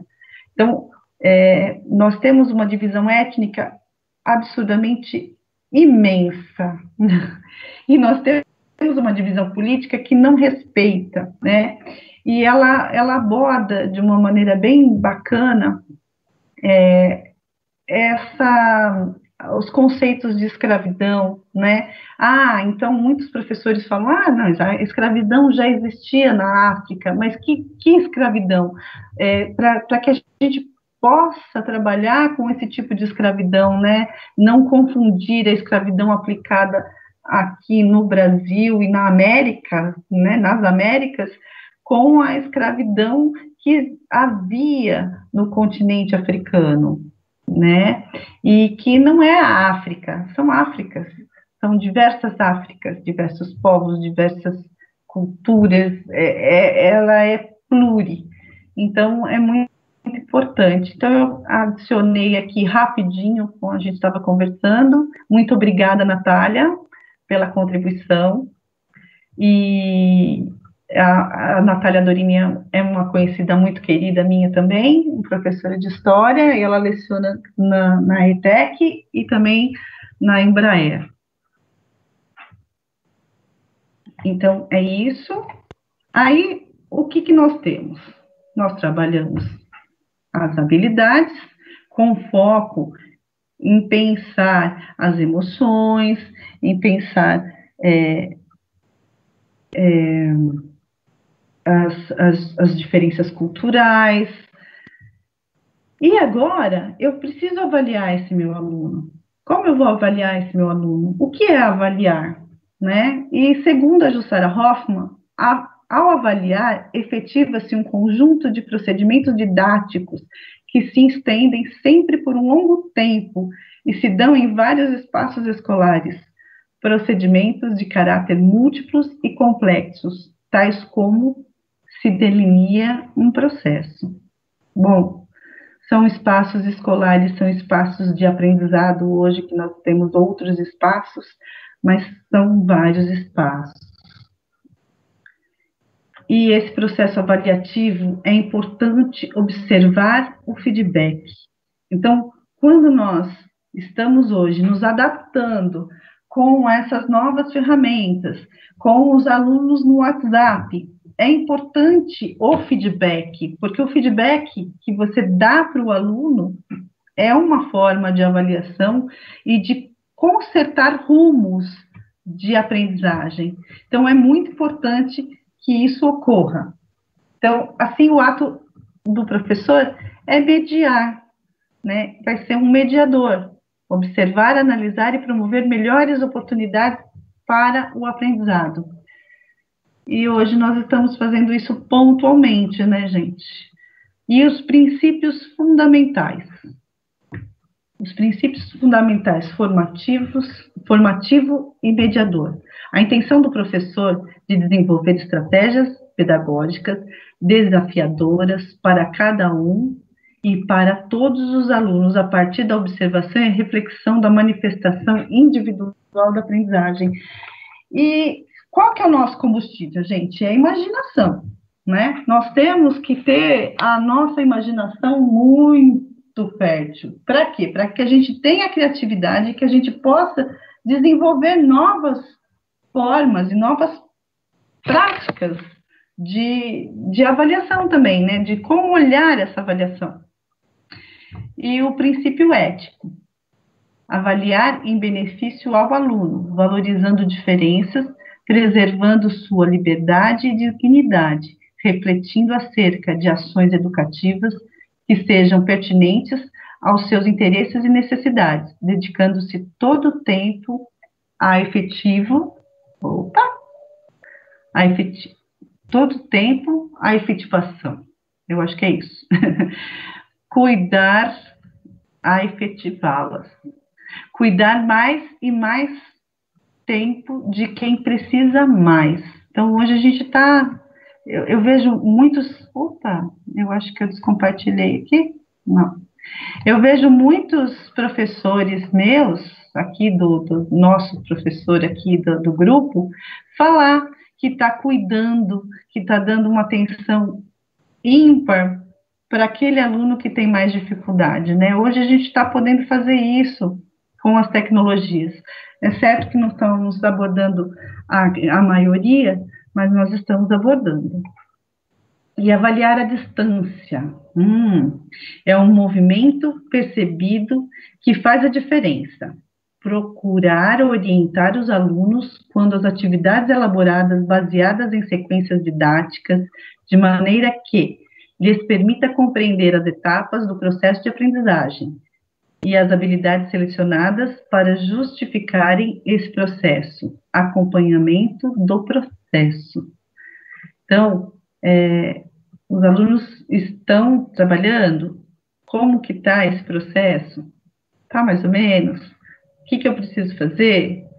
Né? Como eu vou olhar para ele? E o retorno, né? Procurar organizar uma avaliação diagnóstica, principalmente em língua portuguesa e matemática, com foco na leitura e escrita, bases para aprendizagem e outras dimensões. É sempre baseado em língua portuguesa e matemática. E aqui a gente vê tranquilamente que as habilidades, elas, é, ah, quando você se apropria de uma linguagem, é, a linguagem cartográfica, é, é a linguagem é, crítica, você precisa, é, a linguagem artística, você precisa é, ter a língua portuguesa, né? Você precisa ter noções da matemática. Então, a, a, a linguagem matemática e a linguagem própria da nossa, da nossa, da nossa língua materna, ela, é precisa, ela precisa ser apropriada. Avaliações formativas e mediadoras em ciências humanas. E aí eu coloquei as metodologias ativas. Então, se a gente está trabalhando com a metodologia ativa, o que, que eu vou avaliar? A aprendizagem orientada na forma de processo, a que melhor acompanha a apreensão dos conhecimentos pelo estudante. Então, o que, que, ele, o que, que ele conseguiu aprender né, dentro da metodologia? como o professor, vou falar de novo, né? O, professor Márcio citou que ele vai construir, então eu vou analisar a construção do pensamento desse meu aluno, tá? Cada um vai construir de uma forma diferente, mas está construindo. É, os conceitos, né, mais significativos, então eu preciso ter um objetivo, o que que eu vou querer, né, que ele aprenda em primeiro lugar, principalmente na disciplina de ciências humanas, eu tenho um foco. E as metodologias ativas, elas contribuem para a não memorização, né? Vai contra a memorização, ela provém a resolução dos problemas. Então, as competências são situações, problemas que os alunos precisam resolver. Então, se eu trabalho com metodologia ativa, eu promovo essa resolução de problemas. As metodologias ativas proporcionam os meios e condições mais adequadas para a aplicabilidade da avaliação formativa e mediadora. E a autoavaliação. O que, que é uma autoavaliação? Que que, por que, que a gente está trabalhando muito do nosso currículo com uma autoavaliação? Então, a, é uma análise oral que pode ser também por escrito, que o aluno faz do seu próprio processo de aprendizagem. E qual que é essa função? Fazer com que o aluno adquira a capacidade de analisar e de aprender. Então, ele, a, nós precisamos ensinar nosso aluno a ser crítico, mas ele precisa analisar. Né? Se ele não analisa, ele, como que ele vai chegar na criticidade? Então, eu preciso que ele faça uma autoanálise. E vantagens e atenção. O aluno só se abrirá sentir que há um clima de confiança, ou seja, há empatia, há desconstrução da cultura, né? Da, ai, é muito difícil filosofia, ai, porque eu não consigo pensar filosofia, nossa, o professor viaja, né?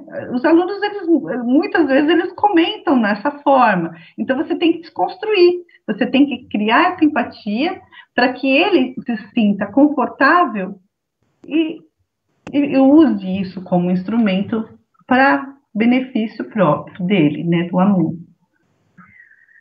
E aqui nós temos o planejamento. Nós precisamos planejar um roteiro de autoavaliação né? É, a gente precisa dar um norte para o nosso aluno. Não é assim, ah, eu vou pedir para ele se autoavaliar. O aluno vai sair, vai sair mais ou menos, né? Alguns saem, outros não. Eles precisam de uma orientação para que essa autoavaliação seja concluída. E análise, que lista os conteúdos, as habilidades e o comportamento. Que esse documento pode ser como a principal fonte para o planejamento dos próximos conteúdos. Então, você, a partir dessa análise, você vê o que, que você pode aprimorar. O que, que aquele aluno consegue, o que, que aquele aluno precisa de um reforço, o que, que aquele aluno precisa de um aprofundamento. Como utilizar as informações? Ao tomar conhecimento das necessidades do aluno, Sugira atividades individuais ou em grupo para ajudá-los a superar as dificuldades. E as, as discussões sobre metodologia ativa não são recentes. Bem, é, eu coloquei no grupo, é, faz algum tempinho já, a palestra da Sônia Castelar, das Segundas Geográficas no YouTube, elas se encerraram, mas é, estão lá gravadas, são muito boas, e a Sônia, ela comenta exatamente sobre essa metodologia ativa, que é o que? O questionamento, é fazer com que o aluno pense, reflita e busque. E baseada na construção conceitual, as aulas com sentido relacionadas com o cotidiano do estudante. Então, mais uma vez, eu preciso que essas aulas elas façam parte da realidade do estudante. Vou citar, eu não lembro, desculpa, professora, eu não lembro o nome, mas na, no grupo nosso de, de humanas, teve um professor que colocou que ele criou, ele gamificou um, músicas, né? formando raps, raps ou funks, não lembro agora, mas o aluno criava a música. Eu gosto muito de trabalhar com repentes, quando a gente trabalha também sétimo ano, eles adoram fazer ser repentistas, porque a gente trabalha Brasil, trabalha o Nordeste, e, e é interessante, porque você, com a rima, com a musicalidade, você gamifica, você começa a competir, criar uma competição, é muito interessante. É uma metodologia ativa muito interessante porque trata do que ele traz, da realidade dele. Proporcionar o desenvolvimento cognitivo e metacognitivo dos estudantes convida-o a pensar o processo de ensino-aprendizagem, com foco na apreensão e compreensão dos conceitos e os exemplos de algumas formas aplicadas de ensino. Um eu já falei, já dei spoiler, que é, que é a gamificação, que é o objetivo de trazer as experiências dos jogos para o ensino. A gente tem a sala invertida, que consiste na, na inversão do modelo tradicional, ou seja, o aluno já vem com, com as dúvidas pré-estabelecidas de casa, né? A gente já a gente faz a inversão E o ensino híbrido, que tanto está falando que daqui pós-pandemia nós vamos ter ele mais presente nas nossas vidas, que consiste na união de ensino tradicional e presencial com aquele à distância, o EAD. E o uso da tecnologia no ensino facilita o contato do aluno com o conhecimento. As tecnologias facilitam. É óbvio que a gente não tem todos eles que tenham esse acesso, mas é uma ferramenta facilitadora. Relação entre avaliação formativa e mediadora metodológica, metodologia afetiva. Ah, opa, eita, estou precisando de água. Avaliação formativa e mediadora, metodologia ativa. Ambas valorizam a autonomia dos estudantes. Então, é, a formativa, mediadora, e a metodologia ativa. E os estudantes, eles são, então, agentes participativos nesse processo. A problematização, ela faz parte do suporte da aprendizagem e ocorre ao longo de todo o processo. Todo o processo deve ser avaliado. Não deve ser entendida como simples técnica, ah, é construção de uma maquete. Não, é muito, é muito além do, do palpável, né? É muito além do físico. É isso. Eu acho que eu corri bastante para poder abrir para vocês perguntas. Aqui está a referência e eu acho que ainda não. Vamos abrir para discussões e perguntas. Se o Marco quiser falar um pouquinho, deixa eu. É, legal, Shirley, valeu pela, pela sua apresentação, muito boa. É, ficou, ficou legal que agora a gente tem um tempo né, para é, perguntas, é. questões, dúvidas que os professores queiram fazer. Né? Então, é, professoras e professores, a palavra é de vocês. Alguma questão, algum comentário referente à minha fala, ou do Márcio, ou da Shirley?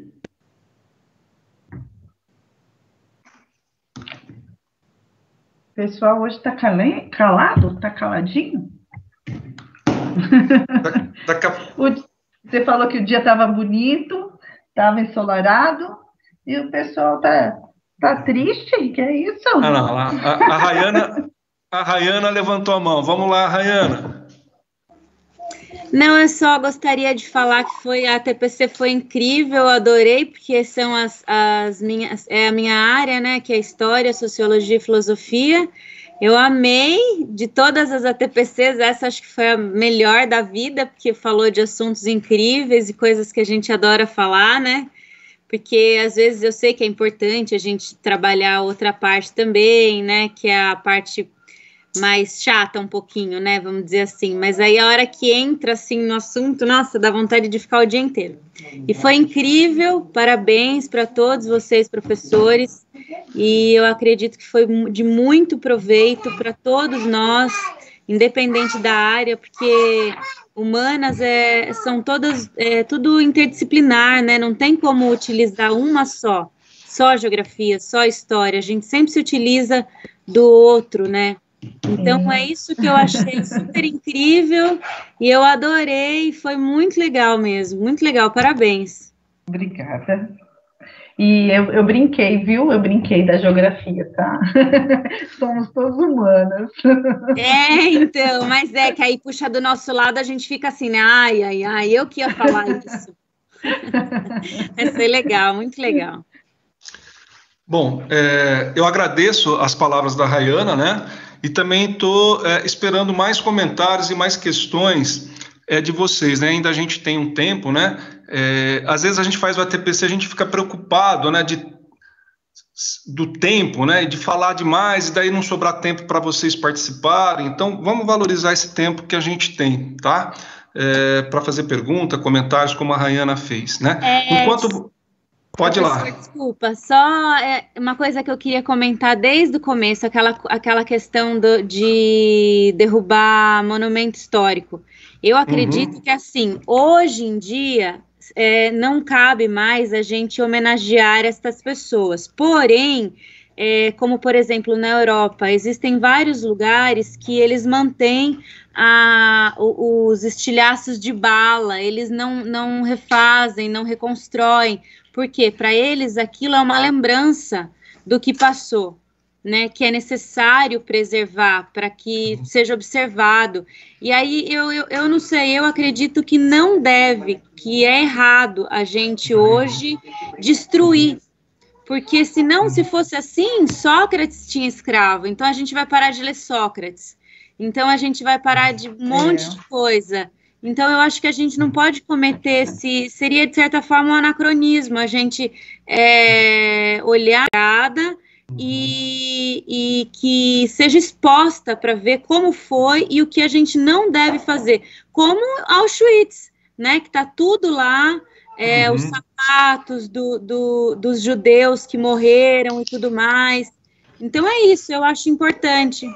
Era isso que eu queria Sim. dizer a respeito. Ah. É muito importante que você falou, porque o lugar ele faz parte de lembranças não só de atores mais importantes, né, vultos, heróis, mas da, do cidadão comum, né? A gente trabalha o lugar, as lembranças, é, o, o, o que traz de, de bom e de ruim também, como você falou, né? Da, dos estilhaços de bala, dos sapatos em Auschwitz. Exatamente, a Igreja Católica mesmo, ela está aí faz quantos mil anos? E aí a gente analisa. É, se for para destruir, então vamos destruir a Igreja Católica por tudo que eles fizeram? Não, a gente não vai destruir a Igreja Católica, né? É, é, são coisas que a gente aprende, né? Uhum. E é importante para a nossa história, é muito importante para a nossa história. Legal. Eu também, eu também estou com vontade de me posicionar aqui também, mas eu vou passar a palavra para Raquel, que pediu a palavra. Raquel. Oi, bom dia. É, gostei bom bastante das apresentações aí, né? É, quando dá para a gente entrar mais nos temas mesmo, né, de, de humanos, a gente acaba achando mais, mais interessante, assim, tudo, né, as habilidades também. É, achei bem legal os mapas temáticos da Chile, trabalhar bem com essa coisa, assim, visual. E tem essa questão que você colocou, né, do negacionismo que tem em história, né, ele também acho que está presente na sociologia, as pessoas negam o racismo, negam as ciências da natureza, com essa coisa aí de a terra é plana, né, e, e, eu não conhecia, foi legal também que eu não conhecia muito assim, essa abordagem do Foucault, né, sobre o racismo, um outro uso que ele faz aí do termo. E realmente, né, o, o Márcio colocou esse ponto importante, que o racismo no Brasil, ele é, ele tem essa particularidade, né, e aí as pessoas não analisam algumas autoridades que a gente ouve, discursando por aí, que negam isso, né, até representante do aliás, é, pessoas que é uma pessoa que trabalha num órgão né, vinculado ao movimento negro e tudo mais, no Ministério da Cultura, não sei como ele está lá ainda, enfim, né, eles negam, analisam essa, essa coisa de negar mesmo, né, porque é, existe um racismo muito grande, né, que acontece muito no Brasil, mas de uma outra forma. A gente vê assim, tem relato que eu conheço, né, de pessoa que me conta, olha, eu compro naquele mercado lá com a minha esposa há dois anos e o segurança sempre vai ficar ali assim de sombra da gente. É, uma outra amiga minha lá, quando eu entrei na loja lá, tal, né, deram aquela medida lá, né, ficaram me olhando de cima a baixo. Né. Em, em alguns lugares, assim, as pessoas, ah, moreninho, a moreninha, não sei o quê, a gente vê que, né, não tem nada a ver, então essa essa parte aí, né, de até as pessoas nem têm consciência às vezes disso, né, como se fosse um problema, aquela coisa de não se assumir, né, as próprias pessoas negras às vezes com toda, esse, com toda essa opressão que tem essa discriminação afeta, tem, tem um impacto nelas também, né, na, na identidade delas, né, então é isso, né, gente só para finalizar, né, teve uma atividade sobre racismo, eu coloquei lá para eles imagens, é, algumas reportagens, e numa redação de uma aluna, ela colocou, né, que tem canais aí bem interessantes, né, de pessoas negras que produzem conteúdo, assim, para entretenimento, essas coisas, e acabam também promovendo uma reflexão, né, uma valorização aí da cultura negra, entre outras coisas aí. É isso. É. É, eu acho assim que essa fala da Raquel, acho que tem a ver com aquela, aquela famosa frase, né, que é, a ideologia ou as ideias da sociedade são as ideologias e as ideias da classe dominante, né? Então, quando é, ela, ela, ela, coloca né, a questão de um negro é, não querer assumir a sua negritude, vamos dizer assim, e o desejo de embranquecer, né? Isso vem dessa, de, dessa ideologia da classe dominante, né? Como também podemos pensar numa mulher que é machista, por exemplo, né? Teoricamente, uma mulher não deveria ser machista, obviamente, né? Mas há casos de mulheres que são machistas. Por quê? Porque essa é uma ideia, né, que acaba sendo é, é dominante, né? É, o, o, o Naves está pedindo a palavra, então vou passar a palavra para ele. Olá, pessoal, muito bom dia. É um prazer compartilhar com vocês esse espaço. Eu quero parabenizar os palestrantes, quero parabenizar o Marco, a Shirley, o professor, né, é, que de uma certa forma brilhantaram muito bem o nosso ATPC. Toda a equipe está de parabéns. Eu só queria colocar algumas questões é, com relação ao seguinte: muitas vezes nós abordamos alguns temas e parece que está muito distante de nós, e na verdade está muito próximo, né? Que é a questão, por exemplo, é, desse, desse, abuso de autoridade, essa questão do, do, autoritarismo que nós vemos na história, né? E eu, eu queria lembrar que Foucault já dizia o seguinte: que o poder está em todos nós. Então, nós que somos da, da área de humanas, nós não podemos deixar de trazer para o debate essa questão, por exemplo, é, é, de nós aí, na, na, própria família, né? nós estabelecemos essa relação de autoridade. Então, eu penso que a escola hoje é imprescindível que ela estabeleça esse debate com os alunos, porque muitas vezes a própria mulher fala, né, olha, é, é, você é o homem da casa, né, você é o homem da casa, né, ou então é, é, é a mulher fala, né, filha, vem ajudar a mãe, né, sendo que é um dever da filha estar compartilhando com a mãe os deveres de casa. Muitas vezes a mãe também, é, é, é ela, ela no seu, nos seus afazeres aí, ela entrega tudo pronto para a criança, né? Então, o, o, aquela criança vai crescendo com aquele espírito que deve ser servido e não que ele também está ali para servir. Então, é um debate interessante que nós, enquanto escola, podemos trazer para, para, para o nosso debate, que é, nós temos que aprender a servir, né, e não também, e não apenas ser servido, né. Então, trabalhar muito essa questão da autoridade, essa questão do machismo, que ainda impera na nossa sociedade, e a escola, por conta também de uma certa forma, ela ratifica esse posicionamento. Então, nós temos que combater um pouco esta síndrome do pequeno poder que se espalha hoje, mais do que nunca, na nossa sociedade. Eu espero ter sido claro e passo a palavra. Ok. Aí, obrigado, Naves, aí pela, pelas palavras, né? Eu acredito que sim, né? Nós da área de humanas temos que combater todo e qualquer preconceito, né? Machismo, racismo, homofobia e tantos outros que existem na nossa sociedade, né? É, so, so, sobre aquela questão da que a professora levantou da questão dos monumentos, né? Eu penso o seguinte, que é, é importante é, retirar o monumento, né? Retirar o monumento daquele local e levar para um museu, né? Então, se você você não quebra a estátua, né? Concordo com ela nesse sentido. Você não quebra a estátua do Borba Gato, mas você tira dali e leva para o museu. E lá naquele museu você explica, olha, é, houve um período que os escravocratas os bandeirantes foram enaltecidos porque eles desbravaram o Brasil mas é, nessa memória se esqueceram que eles escravizaram os índios, que eles escravizaram os negros, que eles cometeram tais e tais barbaridades. E fica ali explicado para as pessoas que não são da área o porquê que ocorreu aquilo, né? Então, eu, eu, eu, acho interessante essa, essa perspectiva, né? E para mim, assim, eu não entro com uma questão de, ah, são vândalos que estão pichando, são vândalos que estão querendo quebrar. Não que eu defenda que deva quebrar, mas também há de se compreender devido ao racismo que existe, né? O que aconteceu nos Estados Unidos, né? A morte do, do, de uma pessoa negra. Aqui no Brasil, recentemente, né? Que é, a patroa, a empregada foi levar o cachorro da da patroa passear, deixou o filho dela com a patroa, a patroa não tomou conta e o menino morreu. Né? E o menino e a, e a empregada eram, eram negras, evidentemente. Né? Aí, como a, a patroa tem poder aquisitivo alto, foi lá e pagou a fiança dela, saiu da cadeia, está de boa.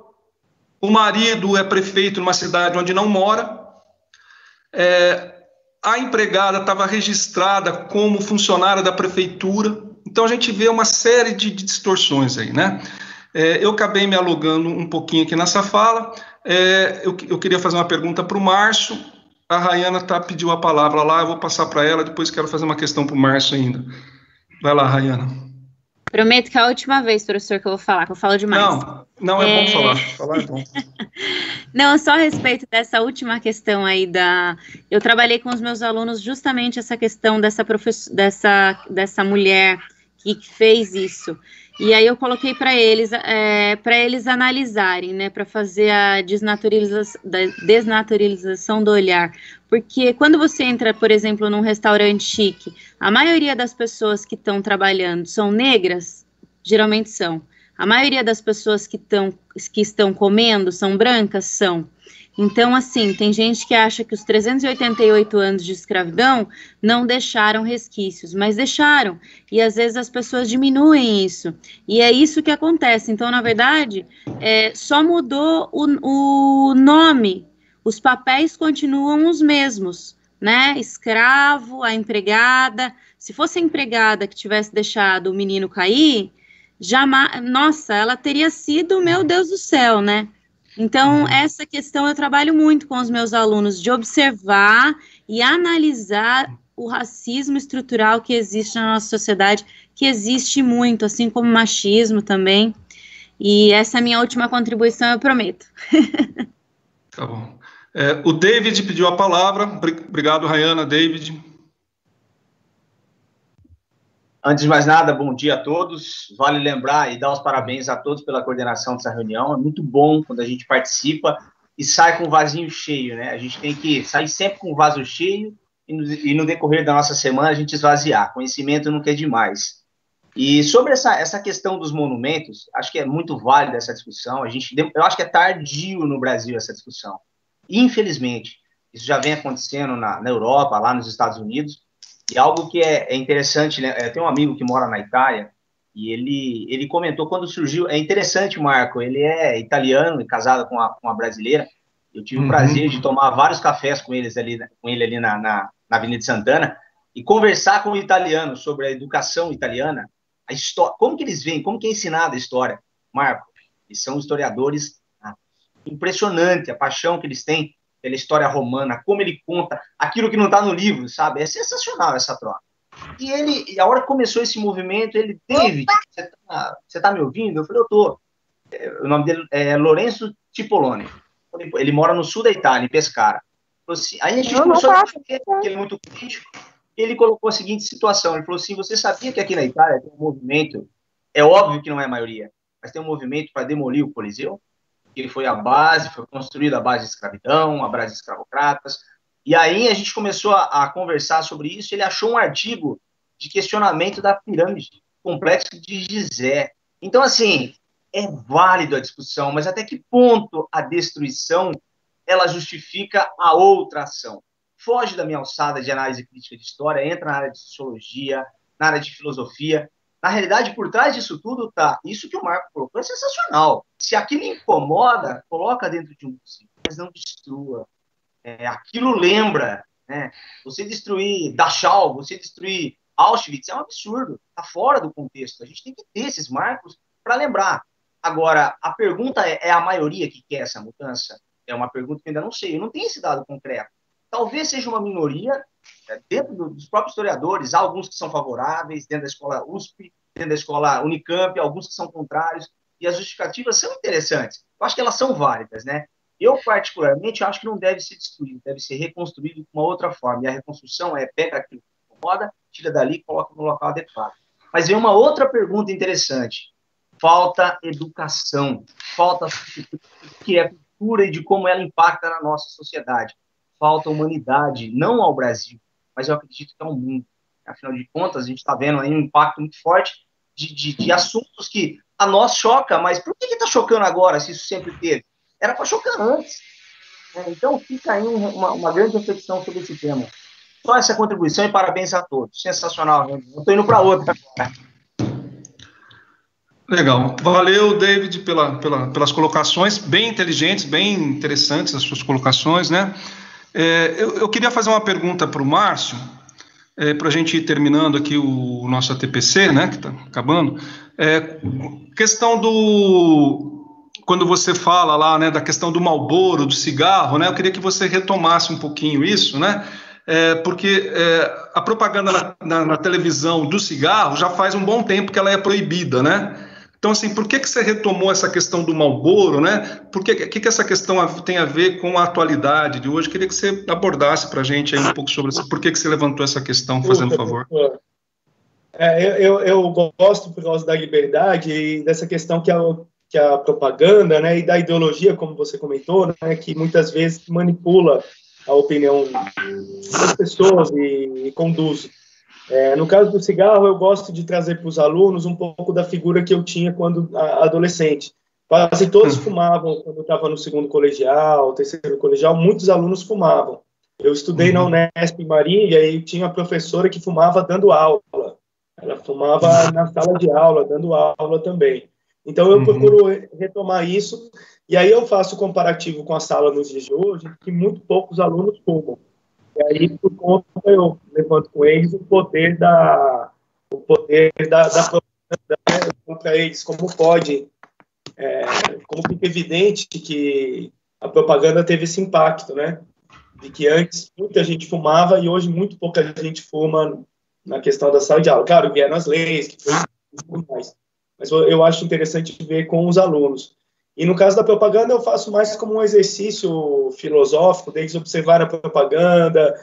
Eu pergunto que conceito é o principal da propaganda. E aí eles sozinhos vão trabalhando a ideia da liberdade e depois qual é o público-alvo né, do cigarro. E aí alguns alunos também fazem esse, essa, essa condução com as outras drogas, né, até as, o, o, álcool, uhum, uma propaganda uhum. álcool muito direcionada ao adolescente, ao jovem, né, porque ele uhum. talvez tenha uma opinião é, não tão formada e ele busca essa liberdade que eles prometem no comercial. E, como eu falei, a propaganda tem um caráter técnico muito bom, então ela é chamativa, atrai um pouco a atenção dos alunos. Mas é uma coisa mais da minha Legal. época mesmo. Valeu. Bacana, Obrigado. Márcio. Valeu. Valeu. Valeu. É, é,